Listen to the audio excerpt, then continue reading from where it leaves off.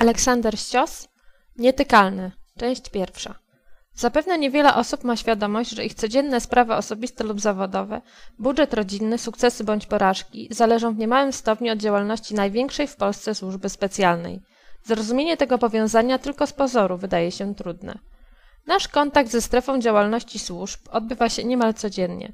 Gdy wypłacamy z bankomatu pieniądze, gdy telefonujemy, wysyłamy maila, załatwiamy sprawę w urzędzie. Wszędzie tam, gdzie mamy do czynienia z przesyłaniem i gromadzeniem informacji, gdzie korzystamy z urządzeń, urządzeń bankowych, telekomunikacyjnych czy informatycznych, gdzie przekazujemy swoje dane, wchodzimy w obszar obecności służb specjalnych. Jeszcze wyraźniej ich istnienie widoczne jest w strefie gospodarczej. Większość urządzeń służących do przesyłania bądź gromadzenia informacji musi posiadać certyfikat bezpieczeństwa.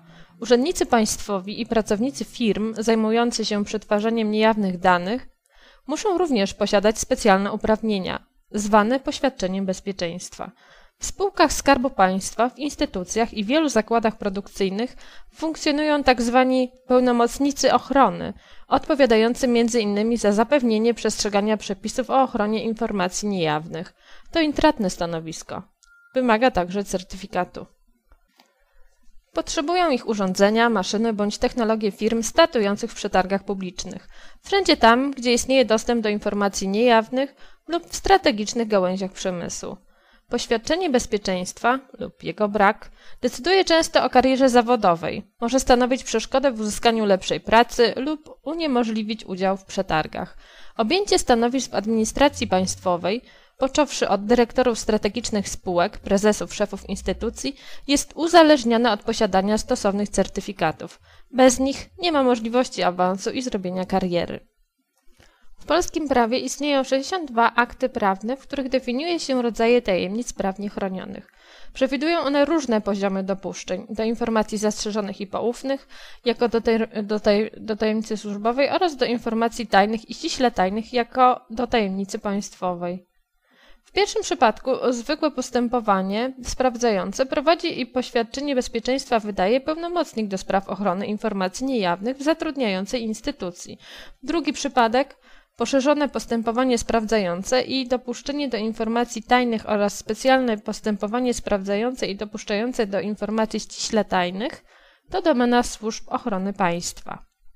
Zaiste, żyjemy zatem w prawdziwie państwie, prawdziwym państwie tajemnic. Tylko dwie instytucje w Polsce posiadają uprawnienia do wydawania certyfikatów i poświadczeń bezpieczeństwa: Agencja Bezpieczeństwa Wewnętrznego i Służba Kontrwywiadu Wojskowego. Żadna z tych służb nie ujawnia informacji, ile poświadczeń wydano lub ilu osobom odmówiono wydania. Jednak raz w roku 2003 na stronach internetowych ABW mogliśmy przeczytać, że w latach 1999-2003 UOP i ABW sprawdziły ponad 35 tysięcy osób, w 220 przypadkach odmawiając poświadczenia bezpieczeństwa. Danych dotyczących służb wojskowych nie ujawniono. Mając na uwadze te liczby, możemy, można domniemywać, że do chwili obecnej co najmniej kilkadziesiąt tysięcy osób musiało występować do służb o wydanie stosownego poświadczenia. Podobnych liczb wolno się domyślać w przypadku uzyskania świadectw bezpieczeństwa przemysłowego, tzw. Tak certyfikacji systemów dopuszczenia do importu towarów podwójnego zastosowania wykorzystywanych w telekomunikacji lub ochronie informacji, certyfikacji wyrobów w zakresie ochrony kryptograficznej i elektromagnetycznej oraz innych zezwoleń wynikających z realizacji ustawowych uprawnień służb specjalnych. Do tego należy dodać system kontroli stanu zabezpieczenia informacji oraz system szkoleń specjalistycznych dla administratorów systemu i inspektorów bezpieczeństwa teleinformatycznego. W praktyce wytworzonej przez obecny rząd uprawnienia, o których piszę, przejęli ludzie jednej służby Agencji Bezpieczeństwa Wewnętrznego. Już przed ponad rokiem Antoni Macierewicz twierdził, że kontrolę nad służbami wojskowymi objęli ludzie ABW i to właśnie środowisko kontroluje sprawy certyfikacji i poświadczeń. Nie trudno, się, nie trudno się domyśleć, że tak skonstruowany system bezpieczeństwa wewnętrznego nakłada na ABW ogromną odpowiedzialność, ale też daje równie wielką władzę. Jak chciałem powyżej zasygnalizować, dotyczy ona praktycznie każdego obywatela.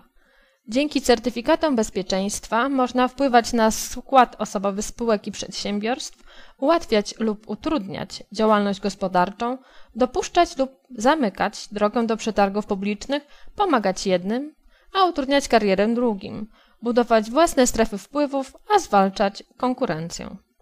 Z łatwością można sobie wyobrazić, że władza agencji dotyczy w rzeczywistości każdego obywatela, konsumenta, odbiorcy i klienta, wszystkich, którzy uczestniczą w obrocie gospodarczym i życiu publicznym. Warto również pamiętać, że funkcjonariusze agencji mają prawo nas wylegitymować, zatrzymać i przeszukać, założyć, założyć podsłuch, inwigilować, uzyskać na nasz temat każdą dostępną informację. Mogą sprawdzić naszą korespondencję mailową, otworzyć list, przeszukać bagaż lub mieszkanie.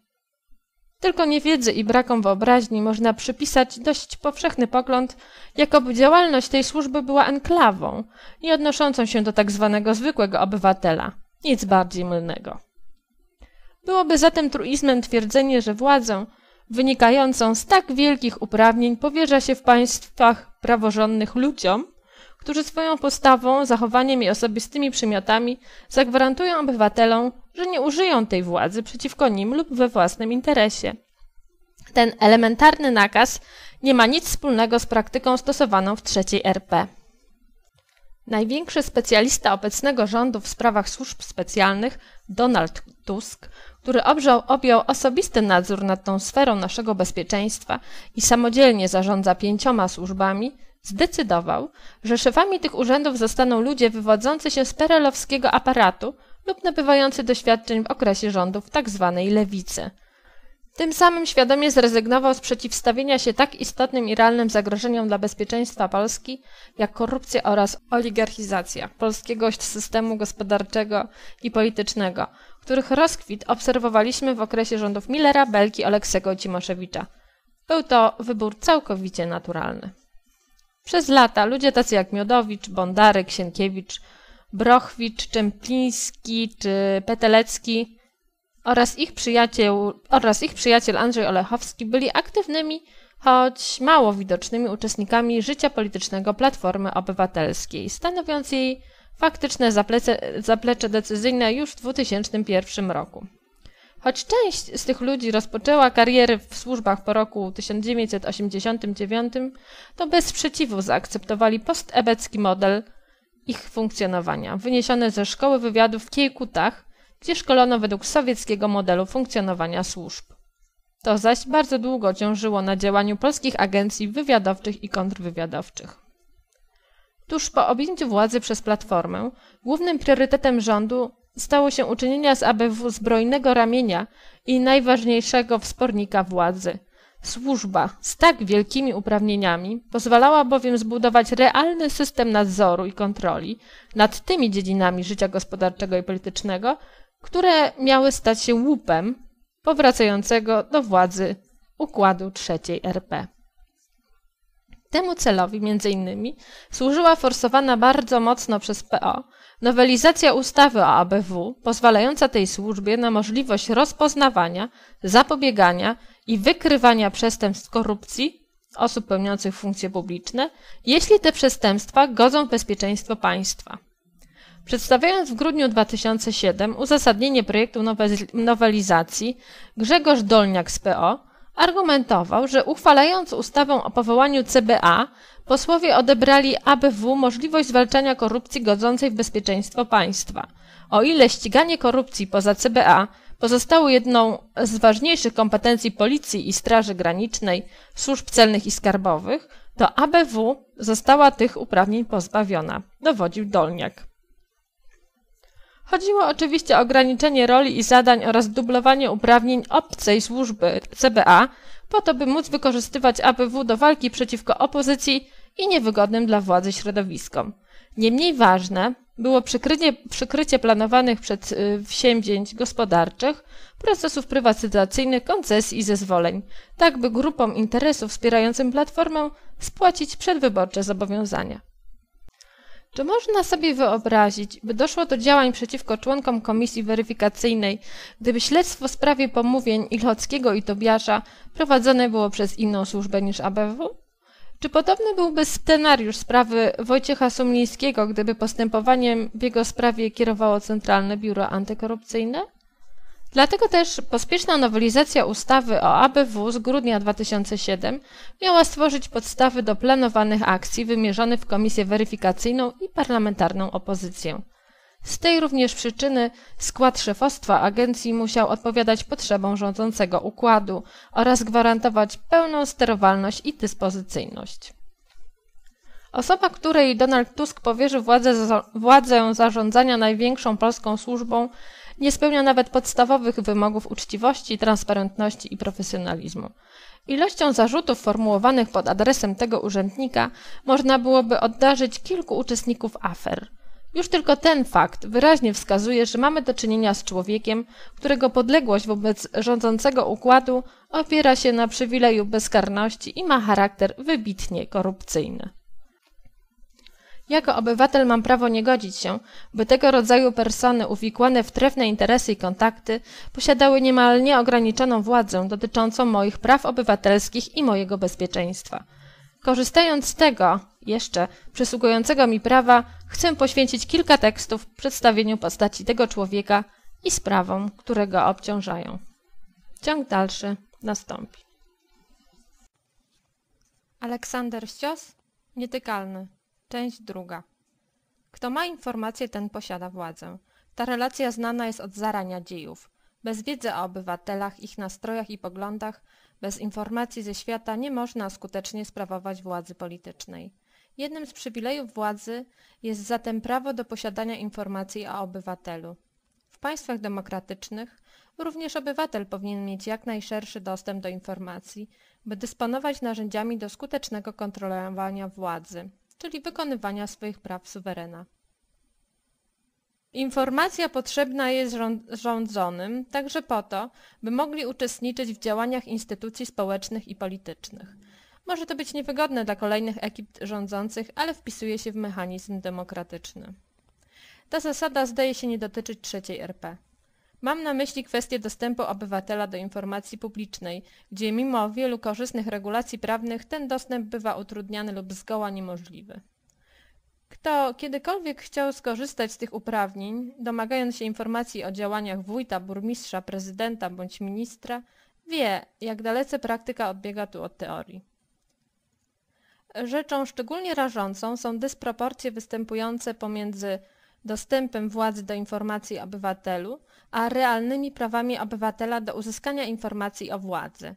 Przykład afery marszałkowej, w której przedstawicielom rządu zadano liczne pytania pozostawione bez odpowiedzi, wydaje się reprezentatywny. Ostatnie dwa lata obfitowały w tego rodzaju przypadki, gdy ograniczano lub uniemożliwiano opinii publicznej dostęp do poczynań władzy.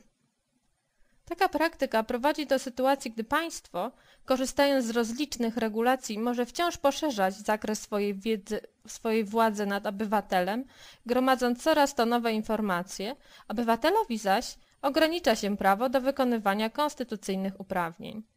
W każdym systemie demokratycznym jedną z podstawowych instytucji, dzięki której władza zdobywa informacje, są służby specjalne. Zajmując się gromadzeniem i przetwarzaniem informacji ważnych dla państwa z punktu widzenia jego bezpieczeństwa, wykonują tę robotę również w interesie obywateli. Tak być powinno. Co jednak, gdy mechanizm zostanie przekształcony w taki sposób, by zdobywanie informacji służyło wyłącznie utrzymaniu władzy lub było podporządkowane interesom wąskiej grupy? Na tej zasadzie funkcjonowała policja polityczna PRL, gromadząc wiedzę dla władzy, lecz przeciwko obywatelowi. W instrukcji pracy operacyjnej Służby Bezpieczeństwa z roku 1970 możemy przeczytać, że rozpoznawanie służy zapobieganiu wrogiej działalności i polega na zdobywaniu informacji o zamiarach, planach, metodach i formach wrogiej działalności. O wynikach rozpoznania Służba Bezpieczeństwa informuje odpowiednie instancje partyjne oraz zainteresowane organy władzy i administracji państwowej i gospodarczej. Podobnie ostatnia z instrukcji operacyjnych SB z grudnia 1989 precyzowała, iż działalność operacyjna Służby Bezpieczeństwa polega na tajnym rozpoznaniu, wykrywaniu i przeciwdziałaniu zagrożeniom bezpieczeństwa państwa. W systemie relacji obowiązujących w PRL władza zdobywała wiedzę o obywatelach, by ich nadzorować i kontrolować, zaś ewentualna wiedza obywatela na temat władzy była uznawana za zagrożenie, czyli działanie sprzeczne z interesem państwa. Informacja zatem była bronią skierowaną przeciwko społeczeństwu i wykorzystywaną wyłącznie w interesie kręgów władzy. Tym samym nie służyła ochronie państwa i bezpieczeństwa obywatela. Ten model wydaje się nadal funkcjonować w działaniach służb specjalnych. Jego niezmienność zawdzięczamy porówno kontynuacji personalnej w służbach oraz realnym oczekiwaniom i potrzebom władzy. W państwach totalitarnych ta skłonność do gromadzenia informacji o obywatelach była widoczna nawet w nazewnictwie. W czasach komunizmu był to zbrodniczy główny zarząd informacji. Charakterystyczne, że w trzeciej RP uczniowie Kiszczaka wymyślili dla, dla kontynuatorów tej służby nazwę Wojskowe Służby Informacyjne. Podobne konotacje dotyczące nazewnictwa można zaobserwować pomiędzy Służbą Bezpieczeństwa, a powstałym w okresie rządów Millera Agencją Bezpieczeństwa Wewnętrznego. Wiemy, że wszystkie służby muszą gromadzić i przetwarzać informacje. To ich naturalny materiał pętny. Jednak służby specjalne III RP tworzyli funkcjonariusze komunistycznej policji politycznej, którzy do nowej rzeczywistości przenieśli w niezmienionej formie wszystkie wyuczone i zakodowane zachowania, w tym również dotyczące stosunku do społeczeństwa i relacji obywatel-państwo. Zmiana szyldu z nazwą służby, czy nawet zmiana nazwy państwa nie sprawiła, że ludzie przez dziesięciolecia nadzorujący własny naród i traktujący go jako wroga zmienili nagle przekonania i przyzwyczajenia. Dlatego nawet młodzi ludzie przychodzący do służb po roku 1989, formowani w szkole wywiadu przez esbeckich mistrzów, a następnie dowodzeni przez zasłużonych ubeków, nie mogli nabyć innych zdolności niż te, które otrzymali od funkcjonariuszy komunistycznych. Skłonność do gromadzenia informacji jako atrybuty władzy musiała być wysoko oceniana w systemie szkolenia i funkcjonowania służb trzeciej RP. Największa z tych służb, której obecny szef jest bohaterem moich tekstów, podkreśla przecież, że naszym podstawowym zadaniem jest wiedzieć, możliwie wcześnie i możliwie dużo, aby skutecznie neutralizować zagrożenia dla bezpieczeństwa państwa. Niewykluczone, że ta właśnie predyspozycja miała znaczenie w szybkiej karierze Krzysztofa Bondaryka. Coś przecież musiało zadecydować, że nauczycielowi historii z Sokółki powierzono w 1990 roku dowodzenie białostocką delegaturą UOP, jednej z najtrudniejszych w kraju, choćby ze względu na lokalizację. Jeśli nawet w rzeczywistości Bondarek był wówczas figurantem, a faktyczną władzę w białostockim UOP sprawował esbek Jan Borawski, to, to i tak wysoki pułap startu gwarantował naszemu bohaterowi szybką karierę. Jej promotorem był bez wątpienia Wojciech Brochwicz, z którym Bondarek poznał się w latach 80. w Białymstoku. Brochwicz pracował tam jako sekretarz do spraw kształcenia ideologicznego i propagandy zarządu wojewódzkiego ZSMP. Wiadomo, że działalność Brochwicza była dokumentowana przez SB, jednak znajdujące się w Białymstoku materiały na jego temat zostały zniszczone na przełomie lat 1989 i 90. To właśnie Brochwicz w 1990 roku zarekomendował Bondaryka Andrzejowi Milczanowskiemu, ówczesnemu szefowi UOP, na stanowisko w białostockiej delegaturze. Pierwsze doświadczenie w służbach specjalnych nie zakończyło się pomyślnie dla naszego bohatera – w 1996 roku został nagle w atmosferze skandalu odwołany ze stanowiska. Miał ujawnić prasie rozkaz szefa UOP Andrzeja Kapkowskiego o monitorowaniu sytuacji społeczno-politycznej w wielkich zakładach pracy. Niczego mu nie udowodniono, on sam zaprzeczył, by cokolwiek ujawnił. Jednak ówczesna prasa rozpisywała się o tym, jakoby szef MSWiA Zbigniew Siemiątkowski chcąc skończyć z przeciekami, wystosował do wszystkich szefów delegatur pisma, ale każde z nich było skrycie i odmiennie oznakowane. Prowokacja osna okazała się skuteczna. Pismo wysłane do Bondaryka do Białego Stoku odnalazło się na konferencji prasowej Unii Pracy w Poznaniu, a Siemiątkowski nie zwlekał z decyzją i wyrzucił Bondaryka z łop. Inna wersja mówi o tym, że Krzysztof Bondaryk wbrew eseldowskiemu kierownictwu ministerstwa prowadził w celach kontrwywiadowczych rejestr osób, które miały kontakty w krajach dawnego ZSRR. Tłumaczył, że udało mu się otworzyć nazwiska osób, które współpracowały z KGB na terenie Białos Białostoczczyzny. Według nieoficjalnych informacji sporządzona przez Bondaryka lista nigdy nie trafiła do kontrwywiadu UOP. Ujawnione wówczas zamiłowanie Bondaryka do gromadzenia informacji i budowania własnych baz danych wkrótce ponownie stało się przyczyną jego kłopotów. Po wyborach w 1997 roku Wojciech Brochwicz kolejny raz pomógł Bondarykowi, rekomendując go Januszowi Tomaszewskiemu, ministrowi spraw wewnętrznych i administracji w rządzie AWS. Jak pisał Jarosław Kurski. Pełny dostęp do Tomaszewskiego ma tylko wąska grupa ludzi z gabinetu politycznego i minister Bondaryk. Kto ministra ukierunkowuje i szepcze mu do ucha? Na pewno ogromny wpływ ma na niego Bondaryk. Mówi się o nim, że to typ psychologiczny Robespiera. Ja jestem miarą moralności politycznej. Ofiara klasycznego dylematu rewolucjonistów. Cele świetlane, narzędzia wątpliwe. Z czasem narzędzia stają się celem. Bondarek odczuwał w tamtych czasach szczególny pociąg do papierów SB. Gdy tworzył się rząd Buzka, początkowo zaproponowano mu szefostwo UOP. Postawił warunek. Chciał, by właśnie jemu podlegały archiwa. Musiało to wzbudzić pewne zdziwienie, ponieważ archiwa nie są najciekawszym miejscem w specsłużbach. A jednak Bondaryk, będący wcześniej ekspertem Sejmowej Komisji tworzącej ustawę lustracyjną, wiedział co robi. Zarządzając archiwami UOP, miałby wpływ na przebieg postępowania lustracyjnego. To przez jego ręce musiałyby przechodzić akta lustracyjne, o które występował Rzecznik Interesu Publicznego. Stanowisko powierzone Bondarykowi przez Tomaszewskiego okazało się na miarę oczekiwań naszego bohatera. Najpierw został dyrektorem Departamentu Nadzoru i Kontroli, a później wiceministrem odpowiedzialnym m.in. za wprowadzenie ustawy o ochronie informacji niejawnych i Krajowego Centrum Informacji Kryminalnej. Na tym stanowisku Bondarek mógł już bez ograniczeń rozwijać swoje zainteresowania. Tym właśnie okresie powstał projekt budowy superbazy danych.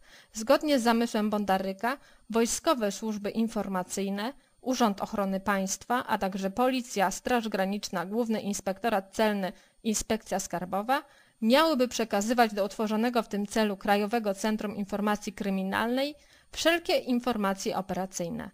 Centrum, powołane 1 grudnia 1998 roku przez Jana, Janusza Tomaszewskiego, miało koordynować pracę wszystkich służb zwalczających przestępczość zorganizowaną, ale również miało być ośrodkiem podejmowania decyzji operacyjnych z centralną bazą danych, którą mieli zarządzać superoperatorzy podlegli bezpośrednio Bondarykowi.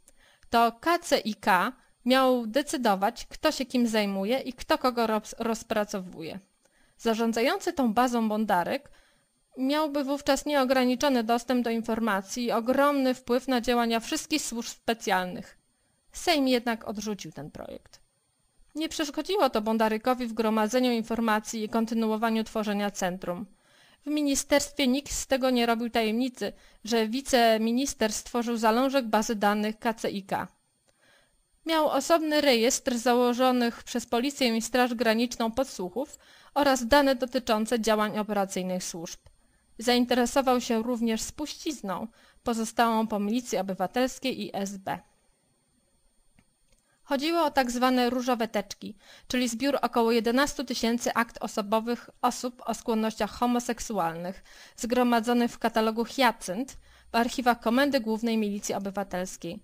O zniszczenie tych akt zwracały się do kolejnych ministrów spraw wewnętrznych różne osoby i organizacje broniące praw człowieka, otrzymując zawsze informacje, jakoby kartoteki zostały już zniszczone.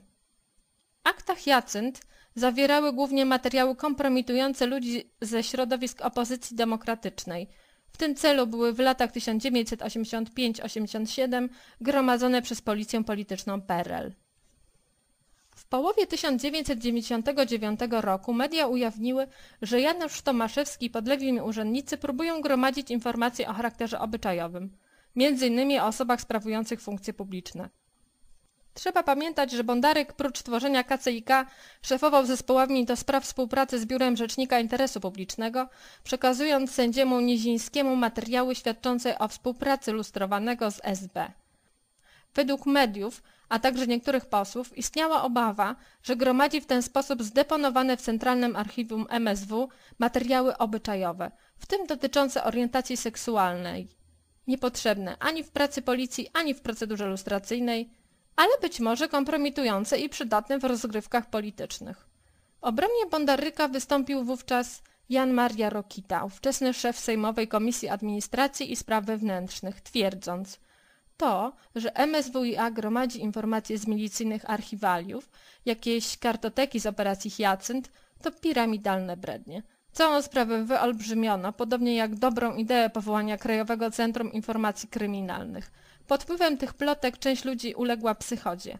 Sugestia jest tak silna, że kiedy wygłosiłem taką opinię wo wobec jednego z poważnych polityków, odparł, że być może na mnie także i Bondarek i Tomaszewski mają jakiegoś haka. Wystąpienie Rokity było uzasadnione. To ten właśnie polityk wprowadził na ścieżki kariery w służbach specjalnych Wojciecha Brochwicza Raduchowskiego, protektora Bondaryka. Dzięki rekomendacji Rokity Brochwicz zasiadał m.in. jako sekretarz Centralnej Komisji Weryfikującej funkcjonariuszy Służby Bezpieczeństwa, a następnie był zastępcą Konstantego Miodowicza, szefa kontrwywiadu UOP.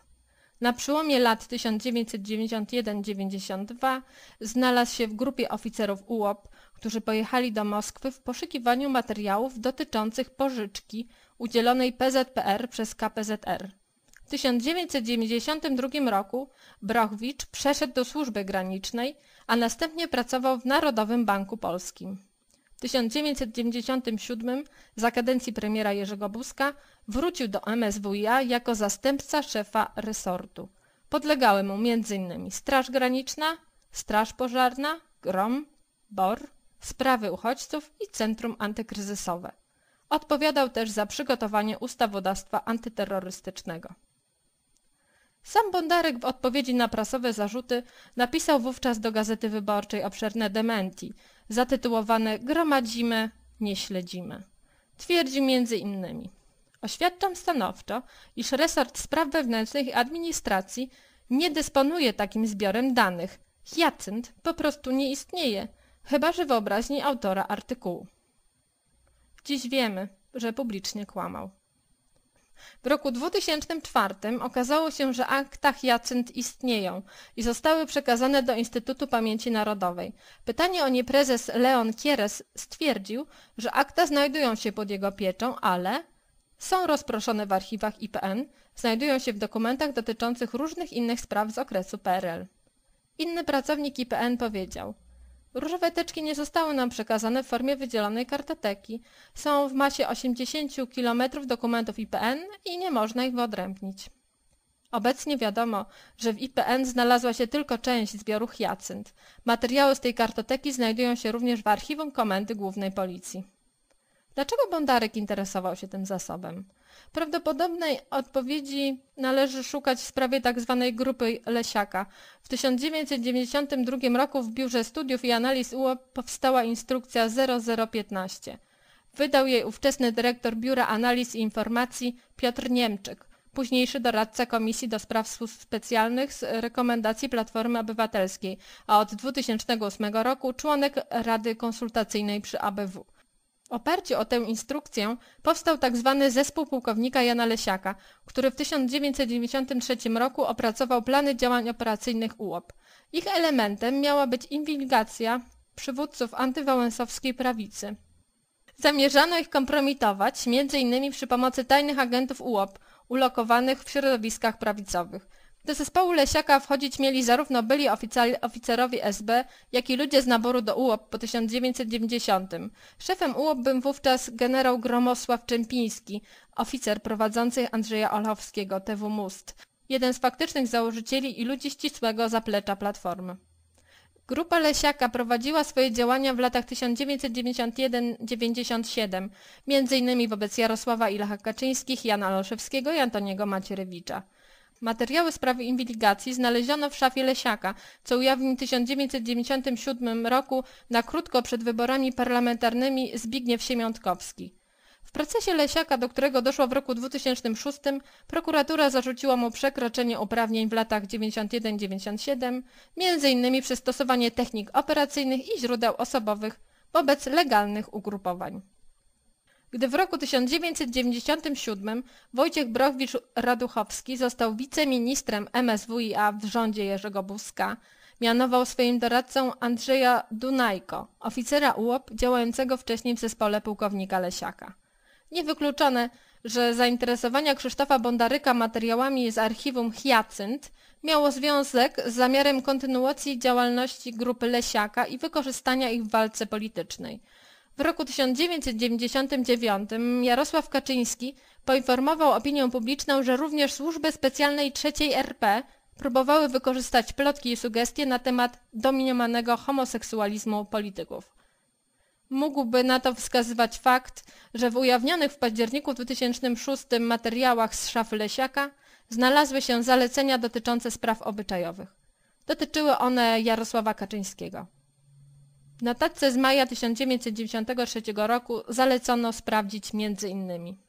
Życie intymne, czy jest homoseksualistą, jeśli tak, to z kim jest w parze, czy jest to związek trwały. Dane kobiety, przez którą Jotka zrezygnował z małżeństwa, co teraz ona robi, czy jest zamężna, czy utrzymuje z nią sporadyczne kontakty, czy jest prawdą, że łączyła ich uczucie, czy tylko uzasadnienie lajności seksualnej. Warto również pamiętać, że gdy inspirowana przez Belweder grupa Lesiaka rozpowszechniała plotki na temat rzekomego homoseksualizmu Kaczyńskiego, Wałęsa zapraszał do Belwederu Lecha z żoną i Jarka z mężem. Bondarek nie cieszył się długo majstrowaniem przy, przy KCIK i dostępem do archiwum Hyacynt. We wrześniu 1990 roku został z powodu tych skłonności zdymisjonowany z rządu Jerzego Buzka, ponownie w atmosferze medialnego skandalu. Od tamtych wydarzeń upłynęło 10 lat. Co poza osobą głównego bohatera łączy je z czasem obecnym? Przesłanki do odpowiedzi na to pytanie znajdziemy w ciekawej interpelacji, jaką na początku kadencji obecnego rządu poseł Ludwik Dorn zadał premierowi Tuskowi. Mam pytanie o osobę bardzo mocno, choć nie fizycznie obecną w pańskim rządzie, to znaczy o pana pułkownika Brochwicza, bo jeśli przyglądać się składowi pańskiego rządu, pan minister Ćwiąkalski to pełnomocnik prawny w procesie, który pan Brochwicz wytoczył mi jako marszałkowi Sejmu za nazwanie go uosobieniem patologii służb specjalnych. Podsekretarzem stanu w Ministerstwie Spraw Wewnętrznych i Administracji jest pan Witold Droszcz, doradca pułkownika Brochwicza, kiedy ten był wiceministrem, a pełniący obowiązki szefa ABW jest pan Bondaryk, bliski kolega i współpracownik pana pułkownika Brochwicza, a pan pułkownik Browicz protegował, kiedy był wiceministrem w MSWiA, ludzi z zespołu pułkownika Lesiaka. Nie wiem, czy pan Dunajko znowu się przy nim znajdzie. Pan pułkownik Browicz był łącznikiem między panią Jarucką a panem posłem Miodowiczem w okresie działania Komisji Śledczej do spraw Orlenu. I moje pytanie do pana. Czy jak na pański gust nie za dużo pułkownika Browicza w pańskim gabinecie? Ciąg dalszy nastąpi. Aleksander Ścios Nietykalny. Część trzecia. Najwięcej uwagi należało poświęcić policji oraz problemom przestępczości, szczególnie zorganizowanej. Szybko okazało się, że jednym z fundamentalnych powodów zapaści, skądinąd najbana najbanalniejszym, był brak koordynacji i właściwego obiegu informacji pomiędzy różnymi podmiotami zaangażowanymi w walkę z przestępczością. Sytuację mogło zmienić powołanie Krajowego Centrum Informacji Kryminalnej. Zdążyłem stworzyć zręby organizacyjno-kadrowe centrum oraz przygotować projekt odpowiedniej ustawy. Po wielu perturbacjach i po ponad roku oczekiwania Sejm przyjął ustawę o KCIK. Pomysł chwalili poważni zagraniczni partnerzy. Nic dziwnego. Wzorowany był na znakomicie działającej brytyjskiej agencji wywiadu kryminalnego i jej skandynawskim odpowiedniku. Niestety, z przyczyn politycznych projekt był kontestowany przez różne środowiska, zarówno w AWS, jak i Unii Wolności. Wyjaśnił swoją sytuację Bondarek w roku 2001, publikując we wprost artykuł Reformy zastępcze. Gdy w roku 1999 wyleciał z hukiem z pracy w UOP, jak barwnie nazywa to zdarzenie Drotakania, postanowił sprawdzić swoje umiejętności w biznesie. Zawsze miałem wrażenie, że Bondarykowi wszystko jedno, gdzie pracuje, byle zarobić pieniądze. Ta opinia Piotra Niemczyka, byłego dyrektora Biura Analiz i Informacji UOP, autora słynnej instrukcji 0015 łamane przez 92, brzmi bardzo wiarygodnie, gdy prześledzimy dalsze losy bohatera tego cyklu. Ilość firm, w których pojawia się jego nazwisko, jest tak imponująca, że nie sposób chyba wymienić wszystkie. W starcie do biznesu pomagał Bondarykowi poseł Andrzej Anusz z ekipy Janusza Tomaszewskiego. Dzięki niemu Bondaryk trafił do publicznej spółki Telenergo Piotra Ogińskiego, obecna nazwa Exatel. W jednej ze spółek zależnych, Porta TX, dostał stanowisko wiceprezesa. W tej samej spółce Telenergo na stanowisku doradcy Ogińskiego pracował Piotr Niemczyk. Sam Piotr Ogiński to postać ciekawa. Z zawodu weterynarz w roku 1988 wrócił z USA. Jak sam o sobie mówił, od zawsze związany z mediami elektronicznymi. W roku 1990 rozpoczął pracę przy uruchamianiu nowych mediów w Polsce. Na początku było radio RMF, następnie była telewizja publiczna i, i program adresowany, organizacja programu dla Polonii poza granicami, TV Polonia, a później były to media komercyjne. Od 1999 roku został prezesem zarządu Telenergo, spółki telekomunikacyjnej, która zajmowała się m.in. uruchamianiem zaawansowanych technologii z dziedziny internetu w Polsce. Z działalnością spółki związana jest. Tak afera Areny, w której chodziło o próbę wyłudzenia 100 milionów złotych z giełdy i wyprowadzenia około 100 milionów ze spółki Skarbu Państwa Telenergo do specjalnie stworzonej spółki prywatnej iConnection. Jak dowiadujemy się ze słów Krzysztofa Łączyńskiego, byłego dyrektora biura zarządu Telenergo, sprawa Port TX była sprawą polityczną. Wiceprezesem tej spółki był związany z Urzędem Ochrony Państwa Krzysztof Bondaryk, który dawał jej swoistą ochronę. Po odwołaniu prezesa pan Bondaryk sądził się z Telenergo o trzy zaległe pensje. Obszerne informacje o tej sprawie można znaleźć pod drugim linkiem opublikowanym na blogu Aleksandra Ściosa, który znajdą Państwo pod adresem bezdekretu.blogspot.com. W latach następnych Bondarek pracował w Lukas Banku, Investbanku i Elektrymie, zajmując się audytem wewnętrznym i bezpieczeństwem. Z tego więc okresu datuje się jego praca dla Zygmunta Solorza. Ponieważ tej postaci można poświęcić kilka obszernych tekstów, wspomnę jedynie, że chodzi o wieloletniego współpracownika Departamentu I MSW, wywiad, a prawdopodobnie od roku 1989 również Wojskowej Służby Wewnętrznej, następnie WSI. Według gazety Nasz Dziennik Solorz dzięki współpracy z wywiadem wojskowym, a wcześniej ze Służbą Bezpieczeństwa, cieszył się wsparciem służb specjalnych w działalności gospodarczej. Po ujawnieniu tych informacji Solosz skierował przeciwko gazecie pozew i uzyskał w Sądzie Okręgowym w Warszawie sądowy zakaz pisania o tej sprawie. W styczniu 2007 ten sam sąd w ramach zabezpieczenia powództwa za emisję programu Misja Specjalna nałożył również na TVP zakaz informowania o, o domniemanej współpracy właściciela Polsatu ze służbami specjalnymi PRL. Zakaz trwał do końca procesu. W roku 2008 Sąd apelacyjny orzekł, że nasz dziennik ma przeprosić Solorza za podanie, by miał on być agentem WSI. Nie musi zaś przepraszać właściciela Polsatu za stwierdzenie, że chętnie współpracował on z tajnymi służbami PRL w latach 80. Podobną opinią o Solorzu podtrzymał w roku 2007 profesor Andrzej Zbertowicz, mówiąc, że działał on jako element służb specjalnych.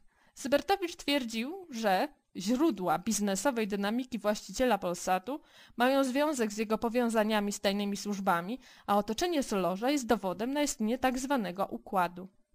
Spośród osób powiązanych ze specsłużbami profesor wymieniał m.in. Andrzeja Majkowskiego, który pracował w Polsacie w pierwszych latach jego istnienia, Piotra Nurowskiego, bliskiego współpracownika właściciela stacji oraz Jacka Podgórskiego, funkcjonariusza UOP, a także Jacka Szelonga, wymienionego w raporcie z likwidacji WSI i Lecha Falandysza. Zybertowicz stwierdził też, że wiele interesów Solorza było prowadzonych z firmami, które w okresie PRL były, były bezpośrednio kontrolowane przez tajne służby.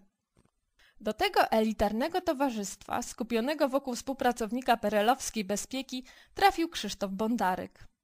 W tym samym czasie, od, od, czerwca 2003 roku do września 2005 roku, był członkiem Rady Krajowej Platformy Obywatelskiej.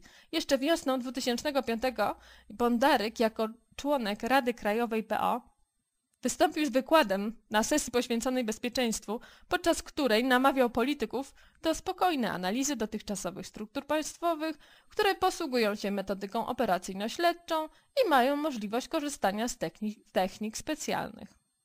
W latach 2005-2006 Bondaryk pracował dla Solorza w polskiej telefonii cyfrowej, operatorze sieci komórkowych ERA i HEJA. Był pełnomocnikiem PTC do spraw informacji niejawnych, mającym dbać o to, by nie dostały się one w niepowołane ręce. Funkcja ta obejmuje również współpracę ze służbami specjalnymi, gdy te żądają informacji o klientach firmy. W PTC działały wtedy dwa zarządy roszczące sobie prawo do kierowania spółką. Jeden związany z francuską firmą Vivendi, a drugi z Elektrimem Zygmunta Solorza, właściciela Polsatu. Bondarek do pracy w PTC był delegowany przez stronę Solorza. Francuski koncern Vivendi y, złożył wówczas w Sądzie Federalnym amerykańskiego stanu Waszyngton skargę przeciwko T-Mobile USA, T-Mobile Deutschland, Deutsche Telekom oraz Zygmuntowi Solorzowi Żakowi, głównemu udziałowcowi Elektrimu, zarzucając im nielegalne zawłaszczenie inwestycji Vivendi wartych 2,5 miliarda dolarów amerykańskich. Zawłaszczenia dokonano poprzez systematyczną defraudację i działania o charakterze oszukańczym, głosił komunikat Vivendi. W skardze są wymienieni T-Mobile USA, T-Mobile Deutschland, Deutsche Telekom oraz Zygmunt Solos-Żak, największy akcjonariusz Elektrimu. Sprawa dotyczy dwóch firm, Vivendi i T-Mobile, które prowadzą znaczące interesy na terenie Stanów Zjednoczonych i z których jedna, T-Mobile, była w zmowie z panem Solorzem Żakiem w dokonywanych przez system telekomunikacyjny w USA działaniach o charakterze oszukańczym, będącym nielegalnym przedsięwzięciem mającym na celu przyjęcie innej firmy, PTC, oraz skorumpowanie innego podmiotu Elektrimu. Czytamy w komunikacie. Vivendi toczyło wówczas Deutsche Telekom spór o 48% udziału w polskiej telefonii cyfrowej, operatorze sieci telefonii komórkowej ERA i HEJA. Jedną z odsłon wojny właścicieli było zawiadomienie prokuratury o popełnieniu przestępstwa ujawnienia informacji stanowiących tajemnicę państwową. Chodziło o kopiowanie i wynoszenie poza firmę tajnych informacji o tym, kim interesują się służby. Zawiadomienie do WSI i ABW złożył w tej sprawie Ryszard Pospieszyński, członek zarządu związany z francuską spółką Vivendi. Według niego ludzie z konkurencyjnego zarządu kopiowali dane o klientach Ery i to dane szczególne, bowiem chodziło o bilingi ludzi, którymi w ostatnich latach interesowały się służby specjalne. Warto wiedzieć, że w telefonii komórkowej stosuje się wybiórczo tak zwane podsłuchy techniczne. Są one zakładane legalnie, ale powinny być zapisywane w tak zwanych czarnych skrzynkach. Chodzi m.in. o sprawdzenie jakości połączeń abonentów. Jeśli zdarzy się, że o wyborze abonenta decyzję będzie podejmował ktoś z układu polityczno-biznesowego, może przy pomocy podsłuchu technicznego podsłuchać nawet prezydenta czy szefa służb specjalnych – a potem zniszczyć dowody takiej operacji. Ale może również uprzedzić polityka czy biznesmena, jakie informacje na jego temat mają służby specjalne i jakie działania planują. Teoretycznie państwo może podsłuchać każdego, za zgodą prokuratora generalnego i sądu. Praktycznie jednak robią to pracownicy firm telekomunikacyjnych z wydziałów odpowiedzialnych za bezpieczeństwo. Zwykle są to byli oficerowie służb, policji o różnych powiązaniach w biznesie i polityce. W czasie swoich rządów PiS chciał odciąć operatorów sieci komórkowych od kontroli nad podsłuchami i tak zmieniać prawo telekomunikacyjne, by wyprowadzić podsłuchy z tych firm. Operacjami tymi we wszystkich sieciach telefonii komórkowej zarządzałby komputer obsługiwany przez służby specjalne. Politycy PiS już w 2005 roku twierdzili, że państwo straciło kontrolę nad podsłuchami telefonicznymi i że tajne informacje mogą być przedmiotem handlu. To szaleństwo, które prowadzi nas w stronę państwa policyjnego. PiS próbuje zbierać informacje o obywatelach. Tak pomysł ten skomentował wówczas Tadeusz Jarmuziewicz, wiceszef Komisji Infrastruktury z PO. Zaś Krzysztof Bondarek, będący w tym czasie wicedyrektorem administracji w PTC, ERA, stwierdził Firmy prywatne dają lepszą gwarancję niż państwo. Zależy im na reputacji i wiarygodności. W zawiadomieniu z roku 2005 Pospieszyński oskarżył o kopiowanie danych abonentów właśnie Krzysztofa Bondaryka, który odpowiadał w erze za współpracę ze służbami, m.in. przy zakładaniu podsłuchów i sprawdzaniu billingów. Jednak sprawa, którą zajmowała się wówczas ABW, miała dotyczyć czterech spółek telefonii komórkowej, a za podsłuchami miała stać grupa dobrych znajomów z czasów UOP. Owa czwórka wymieniała się tymi tajnymi informacjami, a dodatkowo pod pretekstem sprawdzania jakości połączenia sama prowadziła nielegalną rejestrację wybranych rozmów. Gdy ABW uzupełniła układankę dzięki doniesieniom z innych służb, pojawiło się podejrzenie, że kierownikiem tej grupy miałby być Wojciech Brochwicz, stary znajomy Bondaryka. To on miał zbierać tajne telefoniczne dane i wykorzystywać niezgodnie z prawem. W marcu 2008 roku ukazała się w Rzeczpospolitej informacja, że Bondaryk, który w tym czasie pracował w polskiej telefonii cyfrowej, nakazał sprawdzenie służbowym sprzętem służącym do wykrywania podsłuchów pomieszczeń użytkowanych przez Wojciecha Brochwicza. Informację potwierdziła gazecie osoba związana z operatorem telefonii komórkowej. Sprawdzenie przyniosło wynik negatywny. Urządzenia nie wykryły pluskiew. Sytuacją w PTC był wówczas oburzony minister koordynator służb specjalnych Zbigniew Wasserman. Twierdził, to bulwersujące, że firmy rozgrywając swoje interesy mogą narazić na szwank bezpieczeństwo państwa. Informacja o wyciekach tajnych informacji jest niepokojąca. Zleciłem służbom, by jak najszybciej zweryfikowały te doniesienia.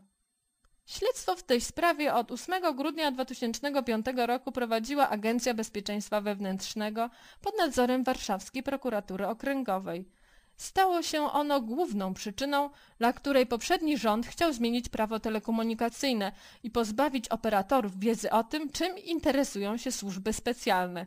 Przygotowano nowelizację, lecz nie zdołano jej wówczas uchwalić. Co ciekawe, konieczność nowelizacji prawa w tym zakresie popierali również nowi szefowie służb specjalnych, mianowani już za czasów koalicji PO-PSL oraz szef Centralnego Biura Antykorupcyjnego Mariusz Kamiński. Mimo poczynionych uzgodnień międzyresortowych i między służbami, tylko Krzysztof Bondarek usiłował do końca torpedować zmianę przepisów. W dniu 31 stycznia 2008 roku, na dwa tygodnie przed oficjalnym objęciem przez Bondaryka stanowiska szefa ABW, śledztwo zostało umorzone wobec braku ustawowych znamion czynu zabronionego. Poprzedni szef ABW, Bogdan Świączkowski, był tą decyzją zdumiony i twierdził, że w tym śledztwie były materiały na zarzuty. Warto podkreślić, że Bondaryka powołano na stanowisko ze złamaniem przepisów, które nakazywały premierowi wystąpić do prezydenta z wnioskiem za, o zaopiniowanie kandydatur szefów służb specjalnych. Chociaż opinia prezydenta nie jest w tym wypadku wiążąca, to jednak procedura i dobry obyczaj wymagały zachowania wszelkich reguł. Tymczasem Bondaryka powołano na stanowisko szefa ABW w wielkim pośpiechu, jeszcze przed udzieleniem prezydentowi odpowiedzi na przesłane przez niego pisemne zastrzeżenia i pytania odnośnie do tej kandydatury. Pytania, jakie Lech Kaczyński stawiał, dotyczyły spraw poruszonych już w moich tekstach, a mianowicie – w jakich firmach i na jakich stanowiskach pracował Bondaryk i czy ABW prowadzi postępowanie wobec którejś z tych firm, a także czy wyjaśniono przyczyny odwołania Bondaryka z funkcji wiceministra spraw wewnętrznych w rządzie Jerzego Buzka i czy jest prawdą, że próbował przejąć i wykorzystać dokumentację tzw. Tak akcji Hyacynt.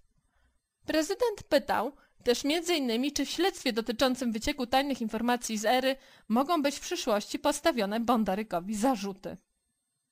Dopiero kilka dni po ujawnieniu przez Kancelarię Prezydenta faktu, że do momentu nom nominacji Bondaryka nie otrzymała ona odpowiedzi na te pytania, Centrum Informacji Rządu zdecydowało się odpowiedzieć. Wyjaśnienia były bardzo lakoniczne i ograniczały się do stwierdzeń, że pytania i sugestie dotyczące podejmowanych przez Bondaryka działań to insynuacje. Zbigniew Wasserman, koordynator służb specjalnych zarządów PiSu, podkreślał wówczas, że już samo powołanie Bondaryka na stanowisko szefa ABW bez opinii prezydenta odbyło się z rażącym naruszeniem prawa.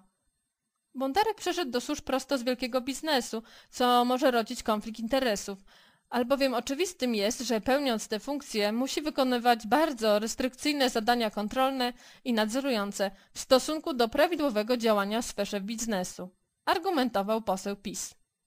Do sprawy podsłuchów w Erze powróciła Rzeczpospolita za sprawą cyklu publikacji Cezarego Gmyza, który powołując się na informacje z umorzonego śledztwa wskazał na faktyczną rolę Bondaryka, Artykuły, które winny wywołać medialną burzę, zostały przez mainstreamowe media zgodnie przemilczane. Dziennikarz Rzeczpospolitej przytoczył liczne dowody ze śledztwa, w tym zeznania Władysława Naja, poprzednika Bondaryka na stanowisku pełnomocnika ochrony niejawnych. Opisał on spotkanie, do którego miało dojść na przełomie lutego i marca 2005 roku, na którym Bondaryk prosił o wskazanie najważniejszych celów będących w zainteresowaniu służb specjalnych. Naja zeznał, że usłyszał, iż zbliżają się wybory i informacje te nie są obojętne. Bondarek miał pytać wprost, kto interesował się Zygmuntem Solorzem. Świadek zeznał również, że w rozmowie Bondarek używał dość specyficznej argumentacji. Pan Krzysztof Bondarek oświadczył mi wprost, cytat, Mógłbym pana zwolnić już teraz, ale jestem wierzącym katolikiem. Wiem, że kupił pan sobie bogate mieszkanko, biorąc to na wysoki kredyt i nie zamierzam pana niszczyć. Bondarek został przesłuchiwany na temat swojej rozmowy z Nają. Choć otrzymał wezwanie jako świadek, na przesłuchaniu pojawił się z adwokatem. Nie zaprzeczał zeznaniom Naja, lecz zasłaniał się niepamięcią co do treści rozmowy. Nie pamiętam, żebym pytał pana Naja o kierunki zainteresowań uprawnionych organów ścigania, wynikających z nadsyłanych przez nie zapytań. Nie pamiętam, żebym pytał go również o to, czy ktoś i do jakich spraw interesuje się osobą pana Zygmunta Solorza, właściciela Polsatu. Czytamy w zeznaniach. Warto zauważyć, że niepamięć jest w tym przypadku wygodną formą uniknięcia zarzutu składania fałszywych zeznań, a taki zarzut mógł zostać postawiony Bondarykowi, gdyby okazało się na przykład, że Naja nagrał treść rozmów. Również Zygmunt Solorz został przesłuchany w tej sprawie 12 lipca 2007 roku. Przyznał, że zna Bondaryka, który dla niego pracował i oświadczył. Nigdy nie prosiłem, by sprawdził, czy ktoś zbiera na mnie materiały. Ja nie mam nic do ukrycia. Nie interesują mnie sprawy związane z polityką. Zapewniał. Inny świadek, inspektor bezpieczeństwa teleinformatycznego Eugeniusz T. zeznał, że za czasów Bondaryka zlecono mu zgranie na płyty informacji o wnioskach służb badających, m.in. zabójstwo generała Marka Papały. Chodziło o dane z komputera jednego z pracowników, które według zeznań NAI zajmował się m.in. sprawą generała Papały, w którą zaangażowane były osoby z kręgu Polsatu. Wśród kopiowanych informacji miały się też znaleźć dane z komputerów ludzi odpowiedzialnych w PTC za kontakty ze służbami. Na tej podstawie można ustalić, jakimi numerami telefonów interesowały się np. policja czy prokuratura. Na publikację Cezarego Gmyza, do których jeszcze powrócę, Pontaryk zareagował w sposób charakterystyczny, zamieszczając na stronie ABW oświadczenie. Warto podkreślić, że w tej formie, wykorzystując internetową witrynę Urzędu Państwowego, Bondaryk lub rzecznik ABW reagują na wszystkie dotychczas formułowane zarzuty. W oświadczeniu z 16 czerwca możemy przeczytać m.in. W czasie, kiedy pełniłem funkcję pełnomocnika do spraw ochrony informacji niejadnych w spółce ERA, nigdy nie doszło do kopiowania lub wynoszenia e-dokumentów, co potwierdziło śledztwo prowadzone przez prokuratorę okręgową w Warszawie. Kolejny raz nadmieniam, że w tym śledztwie występowałem wyłącznie w charakterze świadka. Przeciwko Cezarowi Gmezowi oraz redaktorowi naczelnemu Dziennika Rzeczpospolita skierowałem dwa pozwy o ochronę dóbr osobistych oraz dwa prywatne akty oskarżenia przeciwko Cezaremu Gmezowi dotyczące przestępstwa z artykułu 212 paragraf 2 kodeksu karnego. W demokratycznym państwie prawa niedopuszczalne jest manipulowanie wybranymi fragmentami zeznań świadka uzyskanymi w postępowaniu, które prokuratura zresztą umorzyła z braku znamion popełnionego przestępstwa. Publikując kolejne szkalujące mnie artykuły, pozwany Cezary Gmys nie działa bynajmniej na rzecz interesu publicznego, lecz kierując się interesem osobistym, stara się poprawić swoją sytuację procesową. W odpowiedzi na deklarację Bondaryka dziennikarz Rzeczpospolitej zamieścił oświadczenie, w którym zawarł kilka istotnych dla, dla sprawy pytań. Czy Krzysztof Bondaryk wypytywał się Władysława Naja o kierunki zainteresowań służb specjalnych, a w szczególności o Zygmunta Solorza, właściciela Polsatu? Czy w czasie rozmowy z Władysławem Nają Krzysztof Bondaryk miał ważne poświadczenie bezpieczeństwa osobistego dające mu dostęp do informacji niejawnych? Świadek Naja twierdzi, że rozmowa miała miejsce na przełomie lutego i marca 2005 roku. Sam zaś Krzysztof Bondaryk mówił podczas przesłuchania. W PTC pracowałem od początku marca 2005 roku do 6 lutego 2006 i dodał, że jego poświadczenie, poświadczenie bezpieczeństwa osobistego K 0073 1055 ważne było od kwietnia 2005. Innymi słowy, W momencie rozmowy z Nają nie dysponował certyfikatem dostępu do informacji niejawnych. Czy Krzysztof Bondaryk, po tym jak przejął władzę nad ABW jesienią 2007 roku, podejmował jakieś działania w sprawie tego śledztwa, w którym większość czynności prowadziła właśnie Agencja Bezpieczeństwa Narodowego? Inne pytania, na które nie ma odpowiedzi w oświadczeniu Krzysztofa Bondaryka, dotyczy sprawy polecenia sprawdzenia pomieszczeń używanych przez jego przyjaciela Władysława H., oskarżonego w tzw. Tak sprawie afery w suwalskim wymiarze sprawiedliwości. Krzysztof Bondarek nigdy nie zaprzeczył, że wydał swoim podwładnym erze takie polecenie, zaś w aktach sprawy są dokumenty potwierdzające taki fakt. Do tej kwestii związanej z mecenasem Władysławem H. jeszcze powrócę. Na pytania, które zadał Cezary Gmys, Bondarek nie udzielił odpowiedzi. Na trzecie z nich można próbować znaleźć odpowiedzi samemu. Przytoczył natomiast zakończenie tekstu dziennikarza Rzeczpospolitej, ponieważ zawiera ono informacje bardzo istotne dla zrozumienia mechanizmów działania organów państwa w sprawie zarzutów Bondarykowi.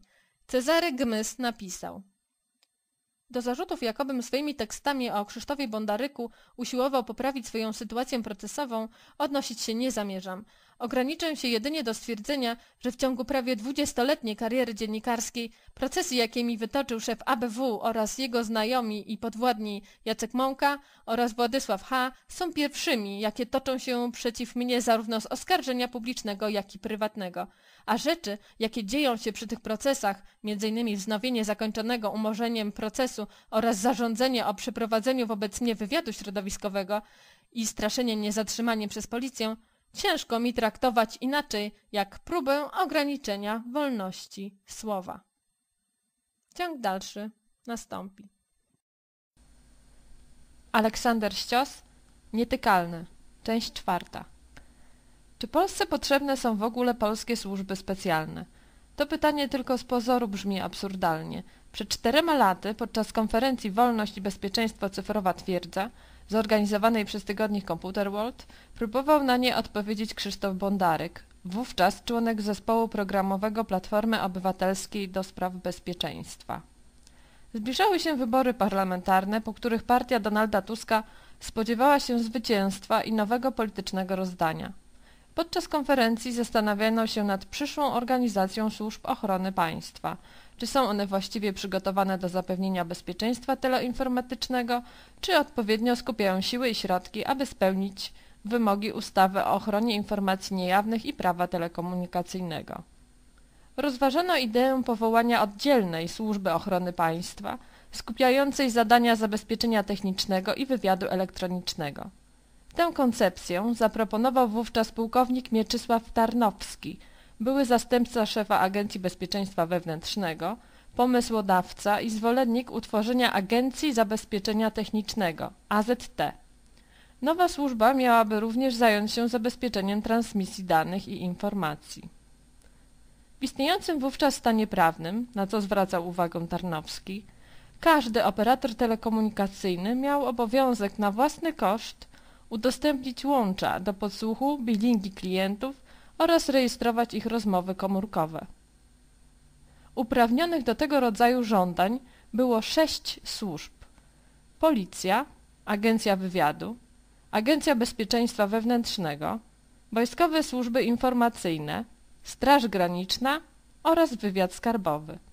Z kolei każdy przedsiębiorca, który zabiegał o tzw. Tak kontrakt specjalny, musiał spełniać wymogi ustawy o ochronie informacji niejawnych, to znaczy uzyskać certyfikat bezpieczeństwa przemysłowego, co wymagało m.in. budowy kancelarii tajnej i zakupu sprzętu dopuszczonego do przetwarzania informacji niejawnych oraz pozyskać dla pracowników poświadczenia bezpieczeństwa osobowego. Producent sprzętu kryptograficznego, np. szyfratorów, środków ochrony elektromagnetycznej i fizycznej, sejfów i zamków musiał certyfikować swój sprzęt w laboratoriach Departamentu Bezpieczeństwa Teleinformatycznego ABW lub Wojskowych Służb Informacyjnych. Za wszystko to trzeba zapłacić i to całkiem wysokie kwoty, a opłaty te znacząco podwyższały koszty wykonania systemu informatycznego, za który zawsze płacił zamawiający podmiot publiczny. W celu ograniczania wydatków na administrację publiczną i zwiększenia konkurencyjności polskich przedsiębiorstw, Tarnowski proponował, by zastanowić się nad unifikacją działań służb specjalnych w zakresie zabezpieczenia technicznego i powołania jednej, oddzielnej służby. Biznes miałby w końcu jednego partnera, z którym by dzielił obowiązki na rzecz obronności państwa i porządku publicznego. Gdyby istniała jedna służba, która odpowiadałaby za wydawanie państwowych pieniędzy na budowę sieci rządowych, byłaby ona w stanie koordynować całość działań w tym zakresie i na przykład kupować hurtem przepływności u operatorów komercyjnych, dowodził pułkownik Tarnowski. Swoje wystąpienie w kwietniu 2005 roku Krzysztof Bondaryk poświęcił polemice z tezami Tarnowskiego. Wskazywał, że pojawia się obawa, czy nowa służba nie zmonopolizowałaby wiedzy zdobytej środkami technicznymi, bo w naturze służb leży ograniczanie dostępu do informacji. Zdaniem Bondaryka mogłoby się zdarzyć, że AZT w naturalny sposób pozbawiłaby wiedzy z inwigilacji policję, kontrwywiad czy służby ministra finansów.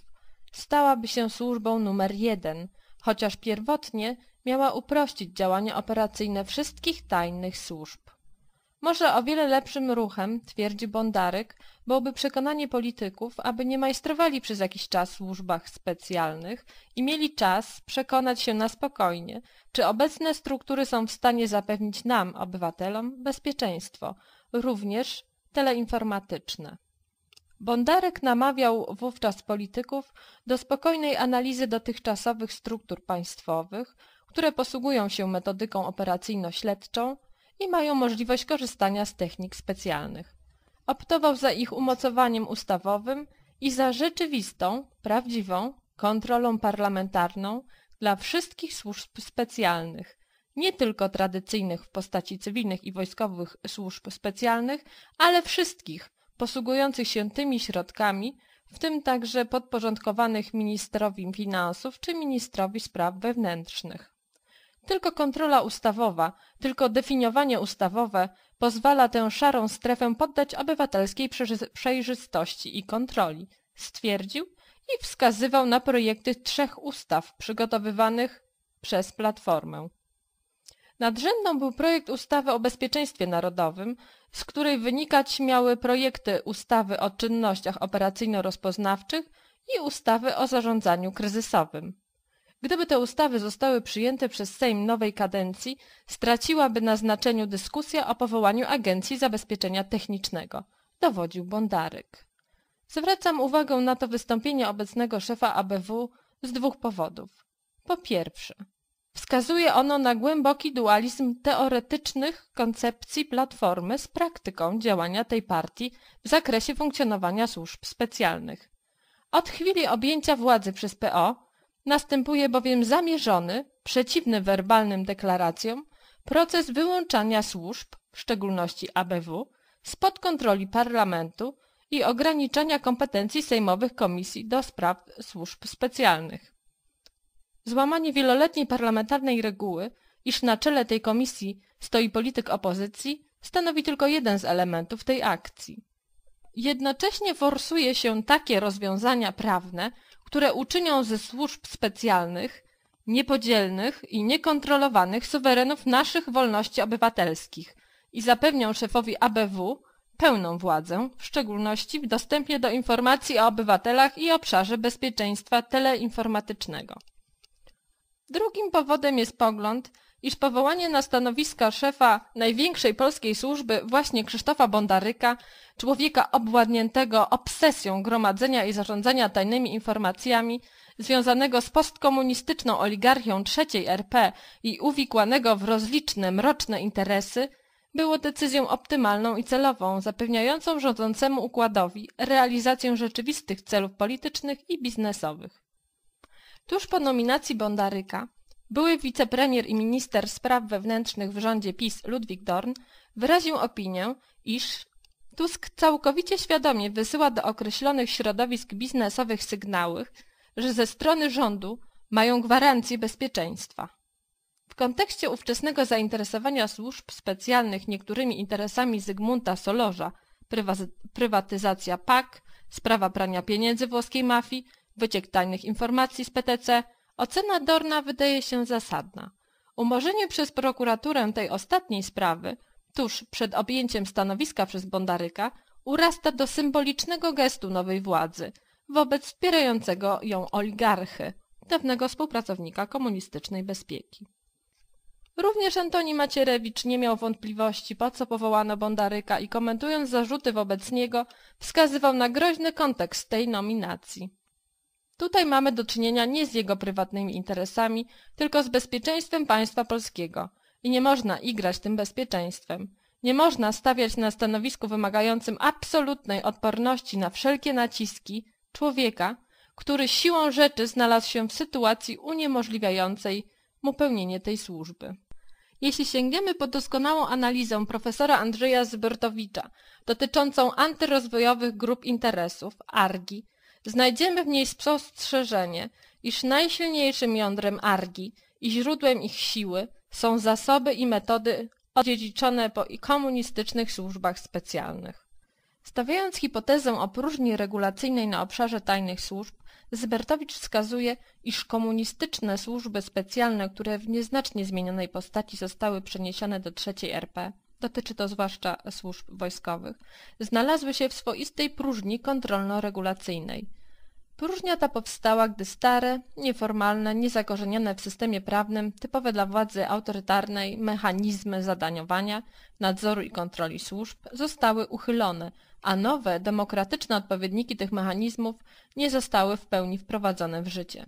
Innymi słowy, twierdzi profesor Zybertowicz, osłabienie kontroli nad służbami nastąpiło w sytuacji, gdy jednocześnie niepomiernie zwiększyły się możliwości ekspansji dla metod działania typowych dla służb.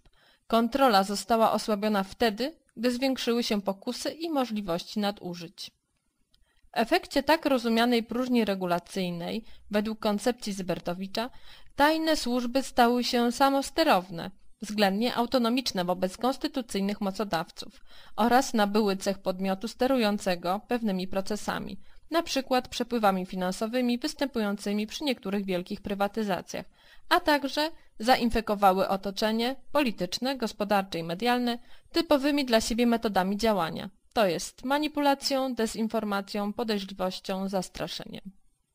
Warto dostrzec, że tezy Andrzeja Zybertowicza znajdują uzasadnienie w zdarzeniach, którymi jesteśmy świadkami od czasu objęcia rządów przez Platformę. Niepowołanie ministra koordynatora do spraw służb, bezpośredni iluzoryczny nadzór premiera nad pięcioma formacjami specjalnymi, pozbawienie parlamentu, a w szczególności opozycji, wiedzy o funkcjonowaniu i zadaniach służb, forsowanie regulacji prawnych rozszerzających ich uprawnienia, liczne przecieki służące wewnętrznym i zewnętrznym interesom rządzącym to tylko najbardziej jaskrawe dowody na wytwarzanie celowej próżni regulacyjnej, w której służby będą mogły realizować interesy ARGI. Według tego planu Agencja Bezpieczeństwa Wewnętrznego ma stać się supersłużbą o ogromnych, a niekontrolowanych uprawnieniach, pełniąc jednocześnie rolę gwaranta antyrozwojowych grup interesów i zbrojnego ramienia rządzącego układu politycznego. Nie przypadkiem drugim po Wojciechu Brochwiczu protektorem politycznym Bondaryka stał się Grzegorz Schetyna. Jak twierdzą autorzy artykułu Zagadkowa kariera szefa tajnych służb, nikt nie chce się przyznać, kto wpadł na pomysł, by zabrać Bondaryka ze świata biznesu, ale wszystkie ścieżki prowadzą do Grzegorza Schetyny. Wypatrzył go już wcześniej, wśród szeregowych członków PO. I już wcześniej próbował ulokować go na atrakcyjnej posadzie wiceprezydenta stolicy. Wtedy się nie udało, bo fotel obiecano wcześniej komuś innemu, ale tym razem kłopotów nie było. Już w styczniu 2008 roku Zbigniew Wasserman zwracał uwagę, iż w działaniach Platformy można doczytać się innej koncepcji służb niż ta prezentowana publicznie. Chodzi o to, twierdzi Wasserman, by powstało superministerstwo. Myślę o Ministerstwie Spraw Wewnętrznych i Administracji, którym kieruje superminister, który układa sprawy personalne także w służbach. W tym potężnym ministerstwie byłoby też ABW podporządkowane panu Schetynie. Nie da się połączyć wody z ogniem. ABW to nie policja Inaczej się łapie złodzieja, inaczej się łapie szpiega. To są inne kompetencje, inne spe, inna specyfika działania. Trzeba więc założyć, że pod parasolem MSWiA powstaje supersłużba, a szef tej służby będzie superszefem dla innych służb. To niezwykle ryzykowna sytuacja zagrażająca bezpieczeństwu państwa. Przystępując do cyklu wpisów poświęconych Bondarykowi, miałem do wyboru szereg artykułów, w których autorzy stawiają szefowi ABW mniej lub bardziej poważne zarzuty. Interwencji w sprawie brata oskarżonego o przemyt złota, pobierania wypłat od PTC, pracy w spółkach Solorza, wycieku informacji z ery i nielegalnych podsłuchach, sprawy mieszkania służbowego. Każda ze spraw, które już znamy, stanowiłaby w państwie prawa dostateczny argument, by Krzysztof Bondaryk nigdy więcej nie zajmował żadnego stanowiska w administracji państwowej.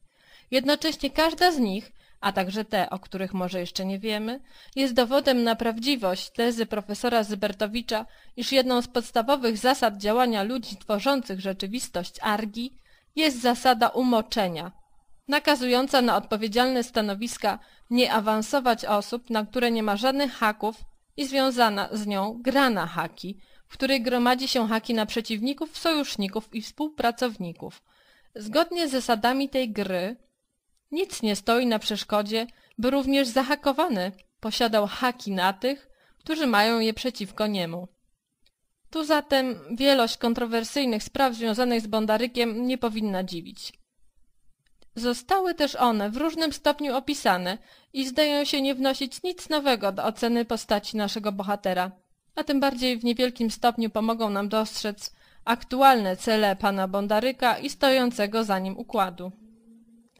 Nie bez przyczyny rozpocząłem ten wpis od reakcji Bondaryka na koncepcję pułkownika Tarnowskiego, powołania nowej służby specjalnej, zajmującej się bezpieczeństwem teleinformacyjnym, wywiadem elektronicznym, zabezpieczeniem transmisji danych i informacji. W tym bowiem obszarze gromadzenia i przetwarzania informacji dochodzi do najważniejszego, interesującego nas spotkania korelacji, zainteresowań Bondaryka z potrzebami i oczekiwaniami grup interesów trzeciej RP. W nim również upatruję główne zadanie postawione Bondarykowi przez ludzi, którzy powierzyli mu stanowisko szefa APW. Jak pisałem już w drugiej części cyklu Nietykalny, kto ma informację, ten posiada władzę.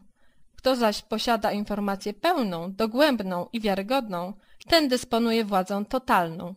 Do takiej władzy dążyli władcy PRL, używając policji politycznej jako narzędzia kontroli i represji wobec społeczeństwa.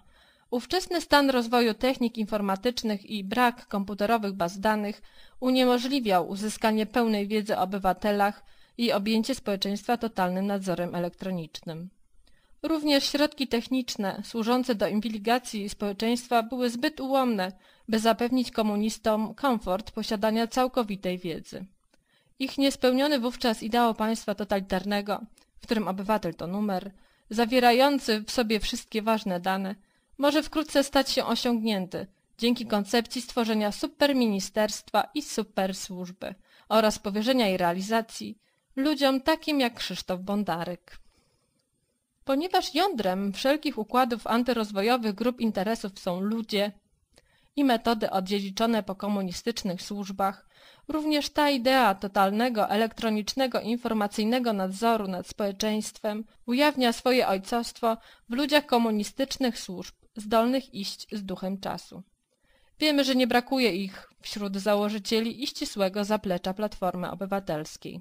Projekt powołania Agencji Zabezpieczenia Technicznego według zamysłu pułkownika Tarnowskiego jest dziś faktycznie realizowany w ramach rozszerzenia i zawłaszczania kolejnych uprawnień przez Agencję Bezpieczeństwa Wewnętrznego. Przy czym nie chodzi tu o prawo do użycia pałek. Nowe czasy trzeciej RP doprowadziły bowiem specjalistów z SB do konkluzji, iż znacznie skuteczniejszą od pałki i donosów tajnego współpracownika formą sprawowania władzy nad społeczeństwem jest objęcie go systemem elektronicznego nadzoru. Naszym podstawowym zadaniem jest wiedzieć, możliwie wcześnie i możliwie dużo. To właśnie ABW w tych kilku, jakże trafnych słowach zamieszczonych na swojej internetowej witrynie informuje o swoim priorytetowym zadaniu. Nikt inny niż Krzysztof Bondaryk nie łączył w sobie tych dwóch, koniecznych dla utrzymania obecnego układu cech uwikłania w interesy postkomunistycznej oligarchii, co miało zapewnić jej państwowe gwarancje bezpieczeństwa i wpływów, oraz niemal obsesyjnego zainteresowania gromadzeniem i przetwarzaniem informacji. We wszystkich dotychczasowych częściach tego cyklu zwracałem uwagę, że kariera Bondaryka przebiegła głównie tam, gdzie dochodzi do zbierania lub przetwarzania informacji, a jego promotorami są ludzie związani z komunistyczną policją polityczną. Warto zatem zwrócić uwagę, że to szef ABW nadzoruje dziś liczne systemy informacji SIP, prokuratura, System Informacji Więziennictwa, ZUS, System Informacji o Osobach Poszukiwanych, System Ewidencji Pojazdów, Rejestr Skazanych, Rejestr Ewidencji Gruntów, NIP, REGON i wiele innych. Wszystkie one gromadzą informacje o najróżniejszych przejawach naszej aktywności życiowej. To, co je łączy, to numer PESEL. Dlatego właśnie władza nad danymi gromadzonymi w tym systemie daje największą wiedzę. Następca PESELa, PESEL 2, ma za zadanie w istocie umożliwić dostęp do wszystkich danych, jakie władze, ale i firmy prywatne, gromadzą obywatelu. Prowadzenie tego systemu, związane z nim przetargi, a przede wszystkim dalsza obsługa, otwiera ogromny obszar wpływów i nieograniczonej władzy oraz rokuje wprost gigantyczne zarobki. O tym jednak już w następnej części. Ciąg dalszy nastąpi. Aleksander Ścios Nietykalny Część piąta Niemal natychmiast po wygranych przez Platformę wyborach 2007 roku przystąpiono do tworzenia supersłużby i superministerstwa, jak Zbigniew Wasserman nazwał w styczniu 2008 roku ABW i MSWiA. Nominacja Krzysztofa Bondaryka na szefa ABW była z całą pewnością posunięciem idealnym z punktu widzenia celów, jakie zamierzano osiągnąć.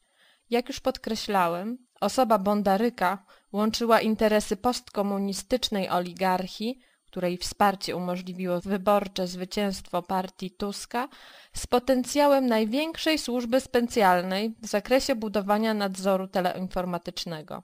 Warto zwrócić uwagę na te obszary działań, które zgodnie z zamysłem rządzącego układu miały doprowadzić do stworzenia potężnego aparatu władzy, a jednocześnie zapewnić gigantyczne zarobki grupom biznesowym związanym z establishmentem III RP. Jedną z pierwszych decyzji podjętych przez nowe kierownictwo MSWiA było unieważnienie przetargu na zakup 7,5 tysiąca komputerów mających obsługiwać system PESEL-2. Nowe władze otrzymały ów przetarg, jak również projekt PESEL-2 w spadku po poprzednim rządzie. Ponieważ stwierdzono, że system nie powstanie, to sprzęt do jego obsługi tym bardziej nie będzie potrzebny. W pierwszym podejściu MSWiA podało więc jako podstawę utratę funduszy na sfinansowanie zamówienia. Jednocześnie w grudniu 2007 roku opracowano plan naprawczy, związany z prowadzeniem PESEL-2, ograniczając projekt o 75% do wartości 31 milionów złotych. Czytamy w nim między innymi Realizacja programu PESEL-2 i jego kontynuacji programu PLID jako systemu, który w zasadniczy sposób może wspomóc działanie administracji rządowej, samorządów i biznesu jest niewątpliwie konieczna dla Polski. Trudno wyobrazić sobie rozwój e-administracji bez dostępu do rejestru danych o obywatelach. Opracowany został plan naprawczy budowy systemu PESEL-2 zawężający i urealniający funkcjonalność w ramach perspektywy finansowej SPO WKP. Znacząca większość prac nad budową systemu zogniskowana zostanie na modernizacji Centralnego Rejestru PESEL. Decyzja ta podyktowana jest względami strategicznymi. Technologie użyte do budowy poprzedniej wersji systemu PESEL są dziś archaiczne i w praktyce uniemożliwiają jakikolwiek rozwój systemu. Historia systemu PESEL sięga lat 70. Poprzednikiem dzisiejszego PESEL był system Magister – opracowany w latach 1973-1974 przez zespół złożony z pracowników MSW i Zeto Zowar. Znajdowały się w nim informacje o wszystkich Polakach z wyższym wykształceniem, cały przebieg kariery zawodowej i naukowej, a także adres. Oficjalnie system miał służyć do prowadzenia polityki kadrowej, ale używała go Służba Bezpieczeństwa do inwigilacji inteligencji. System liczył 633 tysiące zapisów aktualizowanych informacjami nadsyłanymi z 60 tysięcy zakładów pracy i wyższych uczelni. Już wówczas planowano utworzenie kolejnych systemów, m.in. z danymi o studentach, emerytach i robotnikach.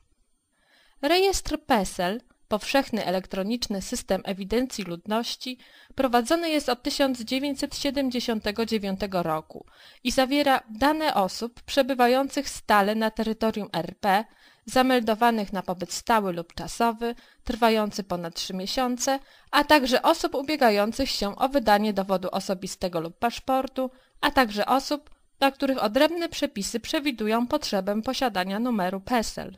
Są to następujące dane nazwiska, imiona, data urodzenia, imiona i nazwiska rodowe rodziców, płeć, obywatelstwo, stan cywilny, imię i nazwisko małżonka, adres zameldowania, seria i numer aktualnego i poprzednich dowodów osobistych, datę zgonu i numer aktu zgonu.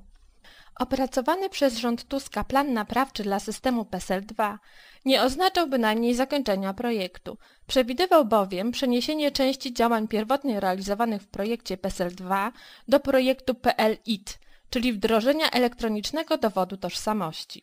Od chwili objęcia rządów przez Platformę nie zwoływano już posiedzeń Rady Konsultacyjnej, będącej ciałem doradczym i opinodawczym Komitetu Sterującego PESEL-2, Odtąd też wszystkie informacje dotyczące projektu stały się niezwykle lakoniczne i ogólnikowe, a prace nad projektem utrzymywano w tajemnicy.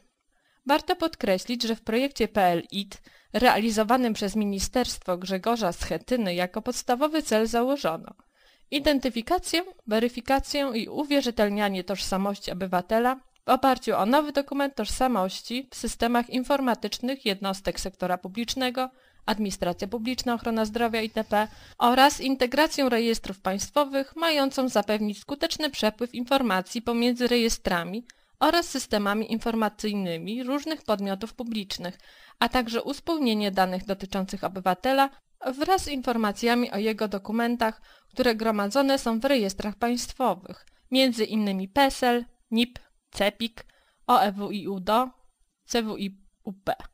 W rzeczywistości jest to kluczowy składnik systemu PESEL-2, dotyczy bowiem Rejestru Identyfikacyjnego Obywateli RIO, stanowiącego centralną bazę danych do wydawania dowodów osobistych i sprawdzania tożsamości wszystkich dorosłych obywateli Polski. Elektroniczny dowód osobisty przewidziany w projekcie PLIT jest w istocie integralną częścią systemu identyfikacyjnego PSL-2. Warto zauważyć, że w opracowanym w marcu 2007 roku przez ekspertów Instytutu Sobieskiego raporcie o PESEL-2 zawierającym analizę koncepcji MSWiA zwraca się szczególną uwagę właśnie na rejestr identyfikacji obywateli i elektroniczny dowód osobisty. W rejestrze byłyby przechowywane tzw. Tak rekordy z danymi osobowymi i identyfikacyjnymi, które w ciągu życia są stałe lub zmieniają się bardzo rzadko. Autorzy raportu zwracali uwagę, iż w tak ważnej kwestii jak kontrolowany przez państwo Centralny Rejestr Danych Identyfikacyjnych należy precyzyjnie wskazać zakres gromadzonych danych, czego niestety zabrakło w materiałach udostępnionych przez MSWiA. Raport Instytutu Sobieskiego dotyczył projektu PESEL-2 realizowanego przez rząd PiS. Eksperci Instytutu przestrzegali wówczas, iż w przypadku wprowadzenia PESEL-2 stworzymy techniczną możliwość pełnego profilowania całej populacji. Pamiętajmy, że w bazie PESEL-2 mają być również zapisane adresy. Oznacza to, że będzie możliwe spełnienie marzenia każdej totalitarnej władzy o technicznej możliwości regularnej identyfikacji grup podejrzanych ze względu na jakieś kryterium i wskazaniu, gdzie podejrzani mieszkają. I zadawali pytanie, czy w imię oficjalnie deklarowanego, a nie wynikającego z logiki konstrukcji PESEL-2, hipotetycznego polepszenia komunikacji obywatela z urzędem, społeczeństwo ma zaakceptować stworzenie systemów, które umożliwiają taką kontrolę nad sobą samym? Sprawa ta ma związek z tak zwanym obowiązkiem meldunkowym i zastąpienia go rejestracją stałego lub czasowego miejsca zamieszkania. Choć obecny rząd od dawna zapowiada zniesienie tego obowiązku, miało to nastąpić z dniem 1 stycznia 2009 roku, przygotowana nowelizacja ustawy o ewidencji ludności nadal czeka na uchwalenie. Jej projekt w drugim etapie, którego realizację przewidziano po 2011 roku, przewiduje możliwość funkcjonowania rejestru PESEL w całkowitym oderwaniu od rejestracji miejsca zamieszkania, przy czym dane związane z tożsamością osoby i jej statusem prawno-administracyjnym mają być aktualne i wiarygodne, z uwagi na wprowadzoną projektem zasadę zasilania rejestru PESEL bezpośrednio przez organy administracji rejestrujące zdarzenia powołujące wytworzenie tych danych. Wypada jedynie żałować, że Instytut nie opracował podobnego raportu i nie dostrzegł żadnego zagrożenia, gdy w listopadzie 2008 roku obecny rząd wydał lakoniczny komunikat o zakończeniu realizacji projektu PESEL 2. Wśród zrealizowanych usług wymieniono bowiem weryfikację danych adresowych osób ewidencjonowanych w rejestrze PESEL, na podstawie danych osoby i wskazanego adresu usługa pozwala zweryfikować, czy osoba jest zameldowana pod podanym adresem oraz udostępniania danych adresowych osób ewidencjonowanych w rejestrze PESEL. Po wprowadzeniu danych osoby usługa pozwala uzyskać jej bieżący adres zameldowania.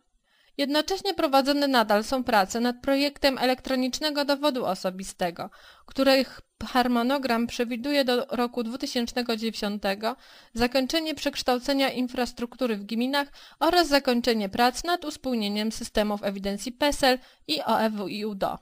Od 2011 roku przewiduje się wydawanie e-dowodów oraz uruchomienie usług uwierzytelniania obywateli. Można się zatem spodziewać, że wkrótce zostaną ogłoszone przetargi na poszczególne komponenty systemów, a przede wszystkim na obsługę tego gigantycznego przedsięwzięcia. Ponieważ całkowita wartość jednego tylko projektu PLID wynosi 370 milionów złotych, czyni go niezwykle atrakcyjnym i dochodowym przedsięwzięciem biznesowym.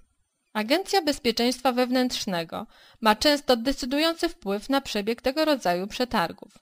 Mogliśmy się o tym przekonać na przykładzie przetargów na maszyny sortujące dla Poczty Polskiej. W listopadzie 2008 roku sprawę opisał Leszek Kraskowski z dziennika, informując, iż ABW wpływa na przetargi Poczty Polskiej, by mieć dane z listów Polaków. Chodziło o elektroniczny system opracowania korespondencji, który umożliwia tworzenie bazy danych o adresatach i nadawcach oraz analizę grafologiczną. Wymogi jakie winny spełniać użyte do tego celu urządzenia, zostały określone przez ABW w zakresie tzw. Tak funkcji specjalnych, do czego zresztą agencja ma prawo, korzystając z uprawnień, m.in. do kontroli korespondencji. Komisja przetargowa, sporządzając specyfikację istotnych warunków zamówienia, musiała brać pod uwagę wymagania techniczne stawiane przez ABW i pytać agencję o ocenę ofert.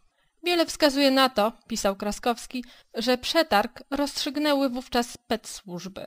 Teraz może się to powtórzyć. W kwietniu, tuż przed ogłoszeniem ostatniego przetargu na dostawę maszyn o wartości 250 milionów złotych, doszło do spotkania kierownictwa poczty i szefów ABW. Nie wiadomo, jakie zapadły decyzje. Wszystko objęte jest klauzulą tajemnicy państwowej. Generalny Inspektor Ochrony Danych Osobowych zapowiadał wówczas przeprowadzenie kontroli na Poczcie Polskiej i zbadanie, czy tworzona jest baza danych, a także kto przetwarza gromadzone w niej informacje. W ocenie GIODO ważne będzie także ustalenie wielu szczegółów technicznych, m.in. w jaki sposób skanowane dane docierają do ABW. Innym przykładem realnych wpływów agencji może być sprawa przetargu na system dozoru elektronicznego SDE, rozpisanego przez Ministerstwo Sprawiedliwości. O zainteresowaniu tym przetargiem Krzysztofa Bondaryka pisał przed rokiem Cezary Gmys z Rzeczpospolitej. Warunki największego wówczas od trzech lat przetargu na rynku elektronicznym, wartego 300 milionów złotych, zostały tak sformułowane, że mogła go wygrać tylko jedna firma przed potencjalnymi oferentami postawiono bardzo wysokie wymagania, jeśli chodzi o kondycję finansową. Między innymi wyznaczono bardzo wysoką cenę polisy ubezpieczeniowej, jaką musi posiadać firma chcąca wystartować w przetargu. Z drugiej strony wymagania techniczne wobec urządzeń zostały ustalone na bardzo niskim poziomie. Jednak najważniejszym warunkiem sformułowanym w SIWZ był wymóg posiadania przez oferenta koncesji ochroniarskiej. Wymóg ten wprowadziło Ministerstwo Sprawiedliwości. W rezultacie warunki przetargu sformułowane przez ministerstwo wyeliminowało z przetargu światowego lidera w produkcji urządzeń do monitoringu, izraelską firmę Elmotech, choć jej rozwiązania stosowano w większości krajów, gdzie wprowadzono dozór elektroniczny, m.in. w Niemczech, Hiszpanii, Portugalii, Szwecji czy w Estonii. Rzeczpospolita ustaliła jednak, pisał Cezary Gmys, że na rynku urządzeń dozoru elektronicznego w większości krajów głównym konkurentem Elmotechu była brytyjska grupa G4S, jednak rozwiązania tej firmy do tej pory w przetargach przegrywały z Elmotechem. Głównym rynkiem G4S jest Wielka Brytania, ale nawet tam ma ona konkurencję. Tymczasem warunki przetargu sformułowane w Polsce przesądzają, że Izraelczycy już na starcie są na przegranej pozycji. Jak ustaliła Rzeczpospolita, jeszcze za poprzedniego rządu SDE było w obszarze zainteresowania obecnego szefa Agencji Bezpieczeństwa Wewnętrznego Krzysztofa Bondaryka. Pracował on wówczas u operatora telefonii komórkowej ERA. Sieć telefonii komórkowej, obok pozycjonowania satelitarnego GPS, jest głównym systemem pozwalającym ustalić pozycję skazanego. Brał on udział w co najmniej jednym ze spotkań poświęconym SDE w Ministerstwie Sprawiedliwości. Na internetowej stronie polskiej grupy G4S możemy z łatwością dostrzec, że jednym z kluczowych klientów tej firmy jest PTC, era GSM, w której przed nominacją na szefa ABW pracował Krzysztof Bondaryk. Ciąg dalszy nastąpi. Aleksander Ścios, Nietykalny, część szósta, zakończenie. Działalnością Agencji Bezpieczeństwa Wewnętrznego i sprawami jej szefa interesował się kilkakrotnie Rzecznik Praw Obywatelskich. W grudniu ubiegłego roku Janusz Kochanowski, na wniosek Stowarzyszenia Stop Korupcji, zwrócił się do Donalda Tuska o zbadanie zastrzeżeń co do niezależności szefa Agencji Bezpieczeństwa Wewnętrznego podpułkownika Krzysztofa Bondaryka w związku z pobieraniem przezeń wysokich uposażeń od polskiej telefonii cyfrowej. W piśmie RPO czytamy – iż wnioskodawca powołując się na publikacje prasowe wskazał na pobieranie przez podpułkownika Krzysztofa Bondaryka wysokich uposażeń od polskiej telefonii cyfrowej spółka ZO, gdzie był zatrudniony przed objęciem funkcji w ABW. Podniósł w tym kontekście także odmowę udostępnienia przez szefa ABW swojego kontraktu menedżerskiego z PTC Centralnemu Biuru Antykorupcyjnemu oraz wskazał na możliwość istnienia kolizji interesów w związku z pobieraniem przez podpułkownika Krzysztofa Bondaryka uposażenia z PTC już w trakcie pełnienia funkcji szefa ABW. Ponieważ na stronie internetowej RPO nie umieszczono odpowiedzi na to wystąpienie, przypuszczam, że premier rządu nie zechciał jej jeszcze udzielić. Rzecznika zainteresował również projekt PESEL-2, o którym obszernie pisałem w poprzednim wpisie. W lutym 2008 roku Janusz Kochanowski poprosił ministra Grzegorza Schetynę o udzielenie informacji na temat szczegółowej koncepcji systemu PESEL-2, w tym funkcji, jaką w zamiarach MSWiA ma spełniać projektowany system. RPO pisał m.in. Zgodnie z przepisami artykułu 51 ust. 2 Konstytucji RP władze publiczne nie mogą pozyskiwać, gromadzić i udostępniać innych informacji o obywatelach niż niezbędne w demokratycznym państwie prawnym. Co za tym idzie, organy władzy publicznej nie mogą w sposób dowolny ustalać zasobu informacji, jakie mają zamiar gromadzić na temat obywateli. Tymczasem z wyłaniającego się obrazu systemu PESEL-2 można wywnioskować, że planowany zakres danych osobowych gromadzonych w systemie jest niezwykle szeroki.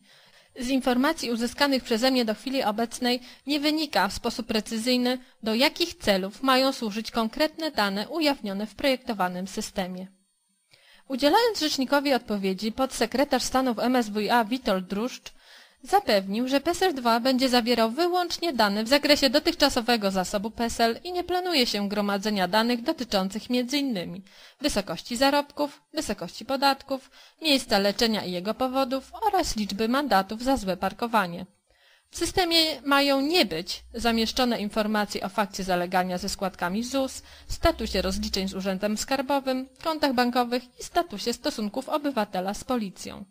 Jednocześnie potwierdził, że projekt PLIT stanowi kontynuację działań rozpoczętych w ramach PESEL-2 i jest drugim etapem programu PESEL-2.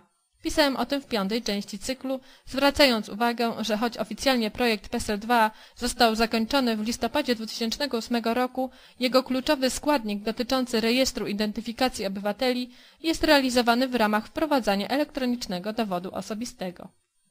W sierpniu ubiegłego roku Janusz Kochanowski skierował również interpelację do samego szefa ABW, pytając go o zabezpieczenie sieci teleinformatycznych w Polsce przed cyberatakami.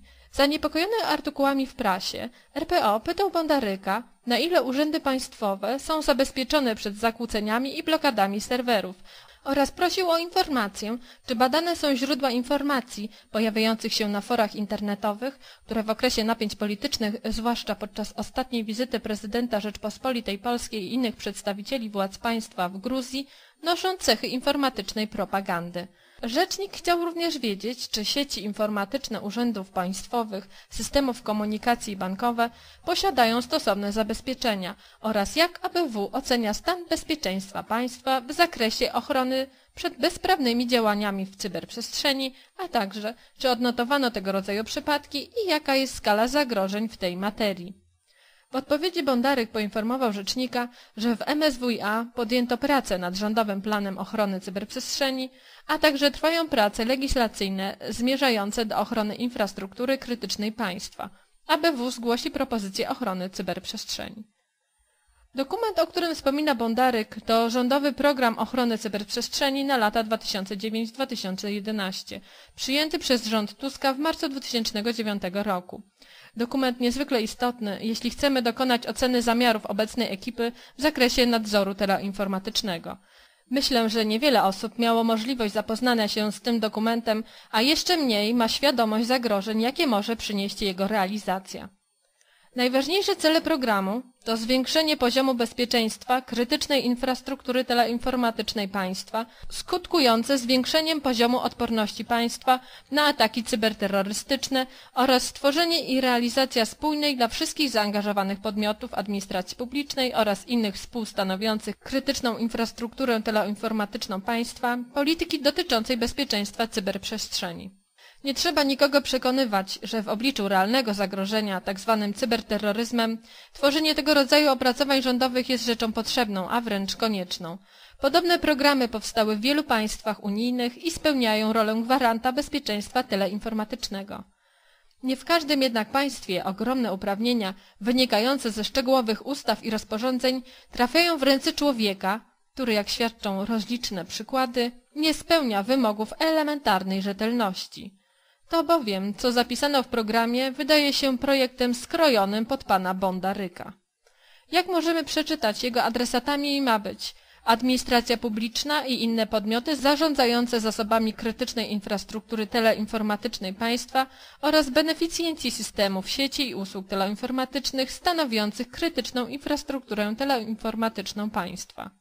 Jednym z podstawowych założeń programu jest ścisła współpraca realizatorów programu z sektorem prywatnym, czyli operatorami telekomunikacyjnymi dysponujących infrastrukturą telekomunikacyjną stanowiącą podstawę zapewnienia komunikacji w państwie.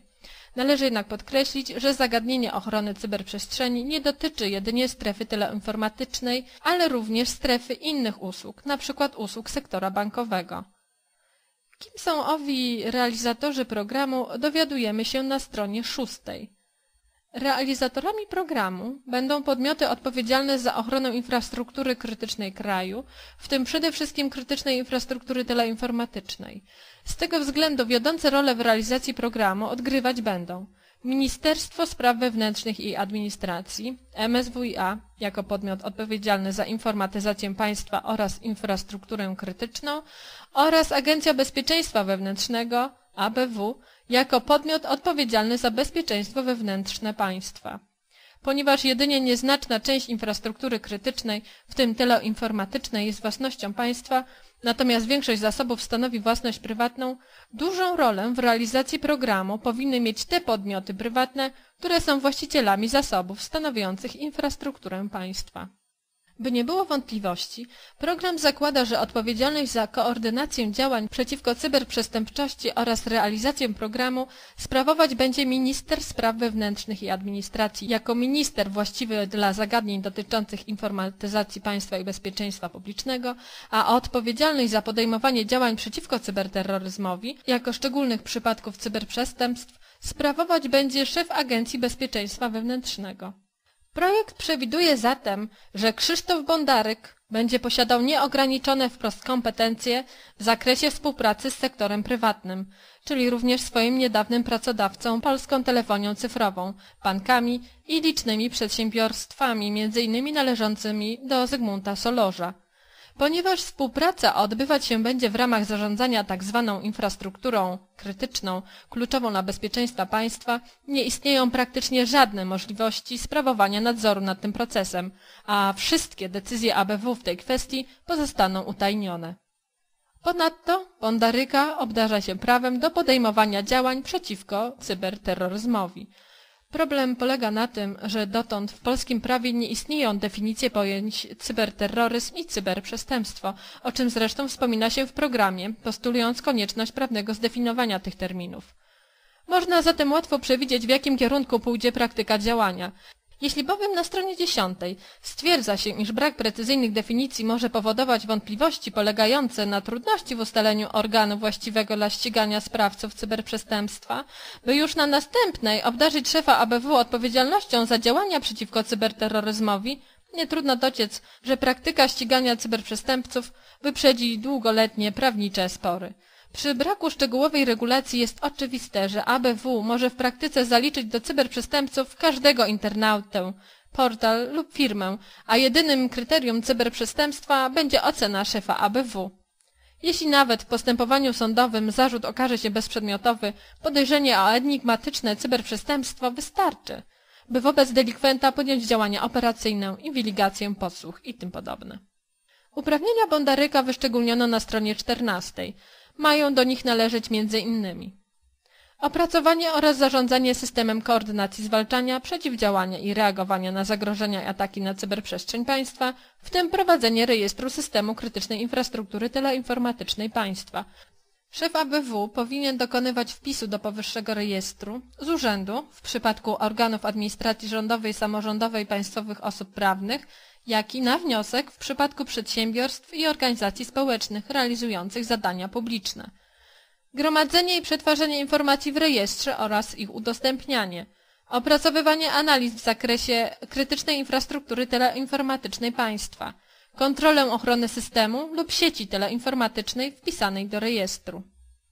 Dodatkowy, ogromny obszar władzy dotyczy tzw. Tak administratorów systemu.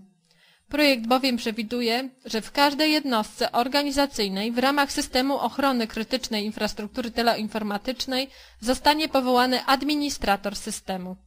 W tym celu określane zostaną minimalne wymagania do obsady stanowiska administratora. Wśród wymagań dla administratorów, które będzie musiał spełnić kandydat na to stanowisko, będzie obowiązek posiadania stosownego certyfikatu poświadczającego odbycie specjalistycznego przeszkolenia przez ABW lub SKW w ramach swojego obszaru kompetencyjnego. Tym samym zmonopolizowany już niemal w całości przez ABW rynek certyfikatów bezpieczeństwa zostanie poszerzony o nowe możliwości wpływów.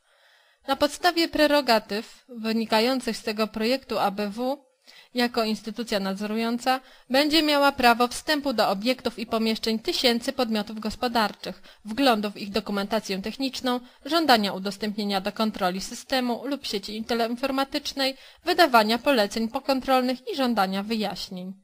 Pierwsze efekty rządowego programu widoczne są już w nowelizacji ustawy o zarządzaniu kryzysowym i wzbudziły uzasadnione zastrzeżenia Rzecznika Praw Obywatelskich. Wojciech Wybranowski w dzisiejszej Rzeczpospolitej pisze, że kontrowersje wzbudzają głównie nowe przepisy nakazujące firmom zarządzającym tzw. Tak infrastrukturą krytyczną, to np. wodociągi, teleinformatyka, transport, obowiązek wyznaczenia pełnomocników do spraw kontaktów z Agencją Bezpieczeństwa Wewnętrznego. Projekt, zdaniem krytyków, daje też agencji niekontrolowany dostęp do informacji oraz dokumentów w tych przedsiębiorstwach. Przedstawiciele ABW uczestniczyli w pracach nad nowymi przepisami. czerwcu bieżącego roku pismo w tej sprawie skierował do rzecznika klub PiS, prosząc o opinię na temat projektu ustawy. Obawy Janusza Kochanowskiego dotyczą artykułu 13a ustawy, który przyznaje szefowi ABW prawo do wydawania specjalnych zaleceń zarządom przedsiębiorstw. Kochanowski jest zaniepokojony, że ustawa nie precyzuje charakteru tych poleceń, a także nie wprowadza możliwości odwołania się od nich. Zagrożeń wynikających z rządowego programu ochrony cyberprzestrzeni jest znacznie więcej niż próbowałem tu wskazać. Dopiero przełożenie go na konkretne ustawy i rozporządzenia może ukazać prawdziwą skalę niebezpieczeństwa.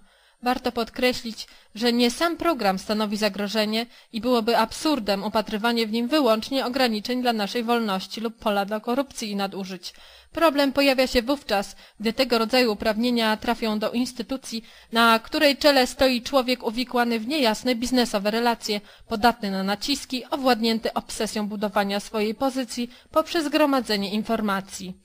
Tym samym realna władza, jaką może nabyć ten człowiek, jest niewspółmiernie wielka do poziomu jego kwalifikacji, a przede wszystkim predyspozycji moralnych. Kończąc cykl poświęcony nietykalnemu, mam świadomość, że pan Bondaryk nieprędko zniknie z polskiej sceny politycznej i nadal trzeba z wielką uwagą przyglądać się jego poczynaniom, dostrzegając zagrożenia tam, gdzie one rzeczywiście istnieją. Skłonności Krzysztofa Bondaryka nie idą bowiem w parze z jawnością działań podejmowanych przez ABW, ani obowiązkiem udzielania wyjaśnień podmiotom uprawnionym do stawiania trudnych pytań. Milczenie premiera w sprawie zarzutów dotyczących kontraktu z PTC oraz ignorowanie wszystkich licznych oskarżeń dowodzi, że szef ABW ma mocną pozycję i został wyznaczony na wykonawcę planów rządzącego układu. Choć można snuć hipotezy, próbując wyjaśnić fenomen nietykalności Bondaryka, nie sposób nie dostrzec, że intencje objęcia Polaków wielorakim nadzorem, a przy tym stworzenia biznesowego zaplecza dla antyrozwojowych grup interesów, dają dostatecznie mocne i logiczne wyjaśnienie tym relacjom. W tak zdefiniowanym układzie szef ABW spełnia rolę ogniwa pośredniczącego pomiędzy mocodawcą a kontrahentem w wykonywaniu konkretnych zleconych przedsięwzięć. Jeśli ten obraz nałożymy na realny potencjał władzy zawarty w rządowym programie ochrony cyberprzestrzeni i dziesiątek innych przepisów umożliwiających Bondarykowi nadzór nad systemami informacji związanymi z naszą aktywnością życiową ZUS, NIP, REGON, ewidencja skazanych, ewidencja pojazdów i gruntów, PESEL-2, pojawi się wizja państwa policyjnego, przy której utopia Orwella wydaje się niegroźną literacką baśnią.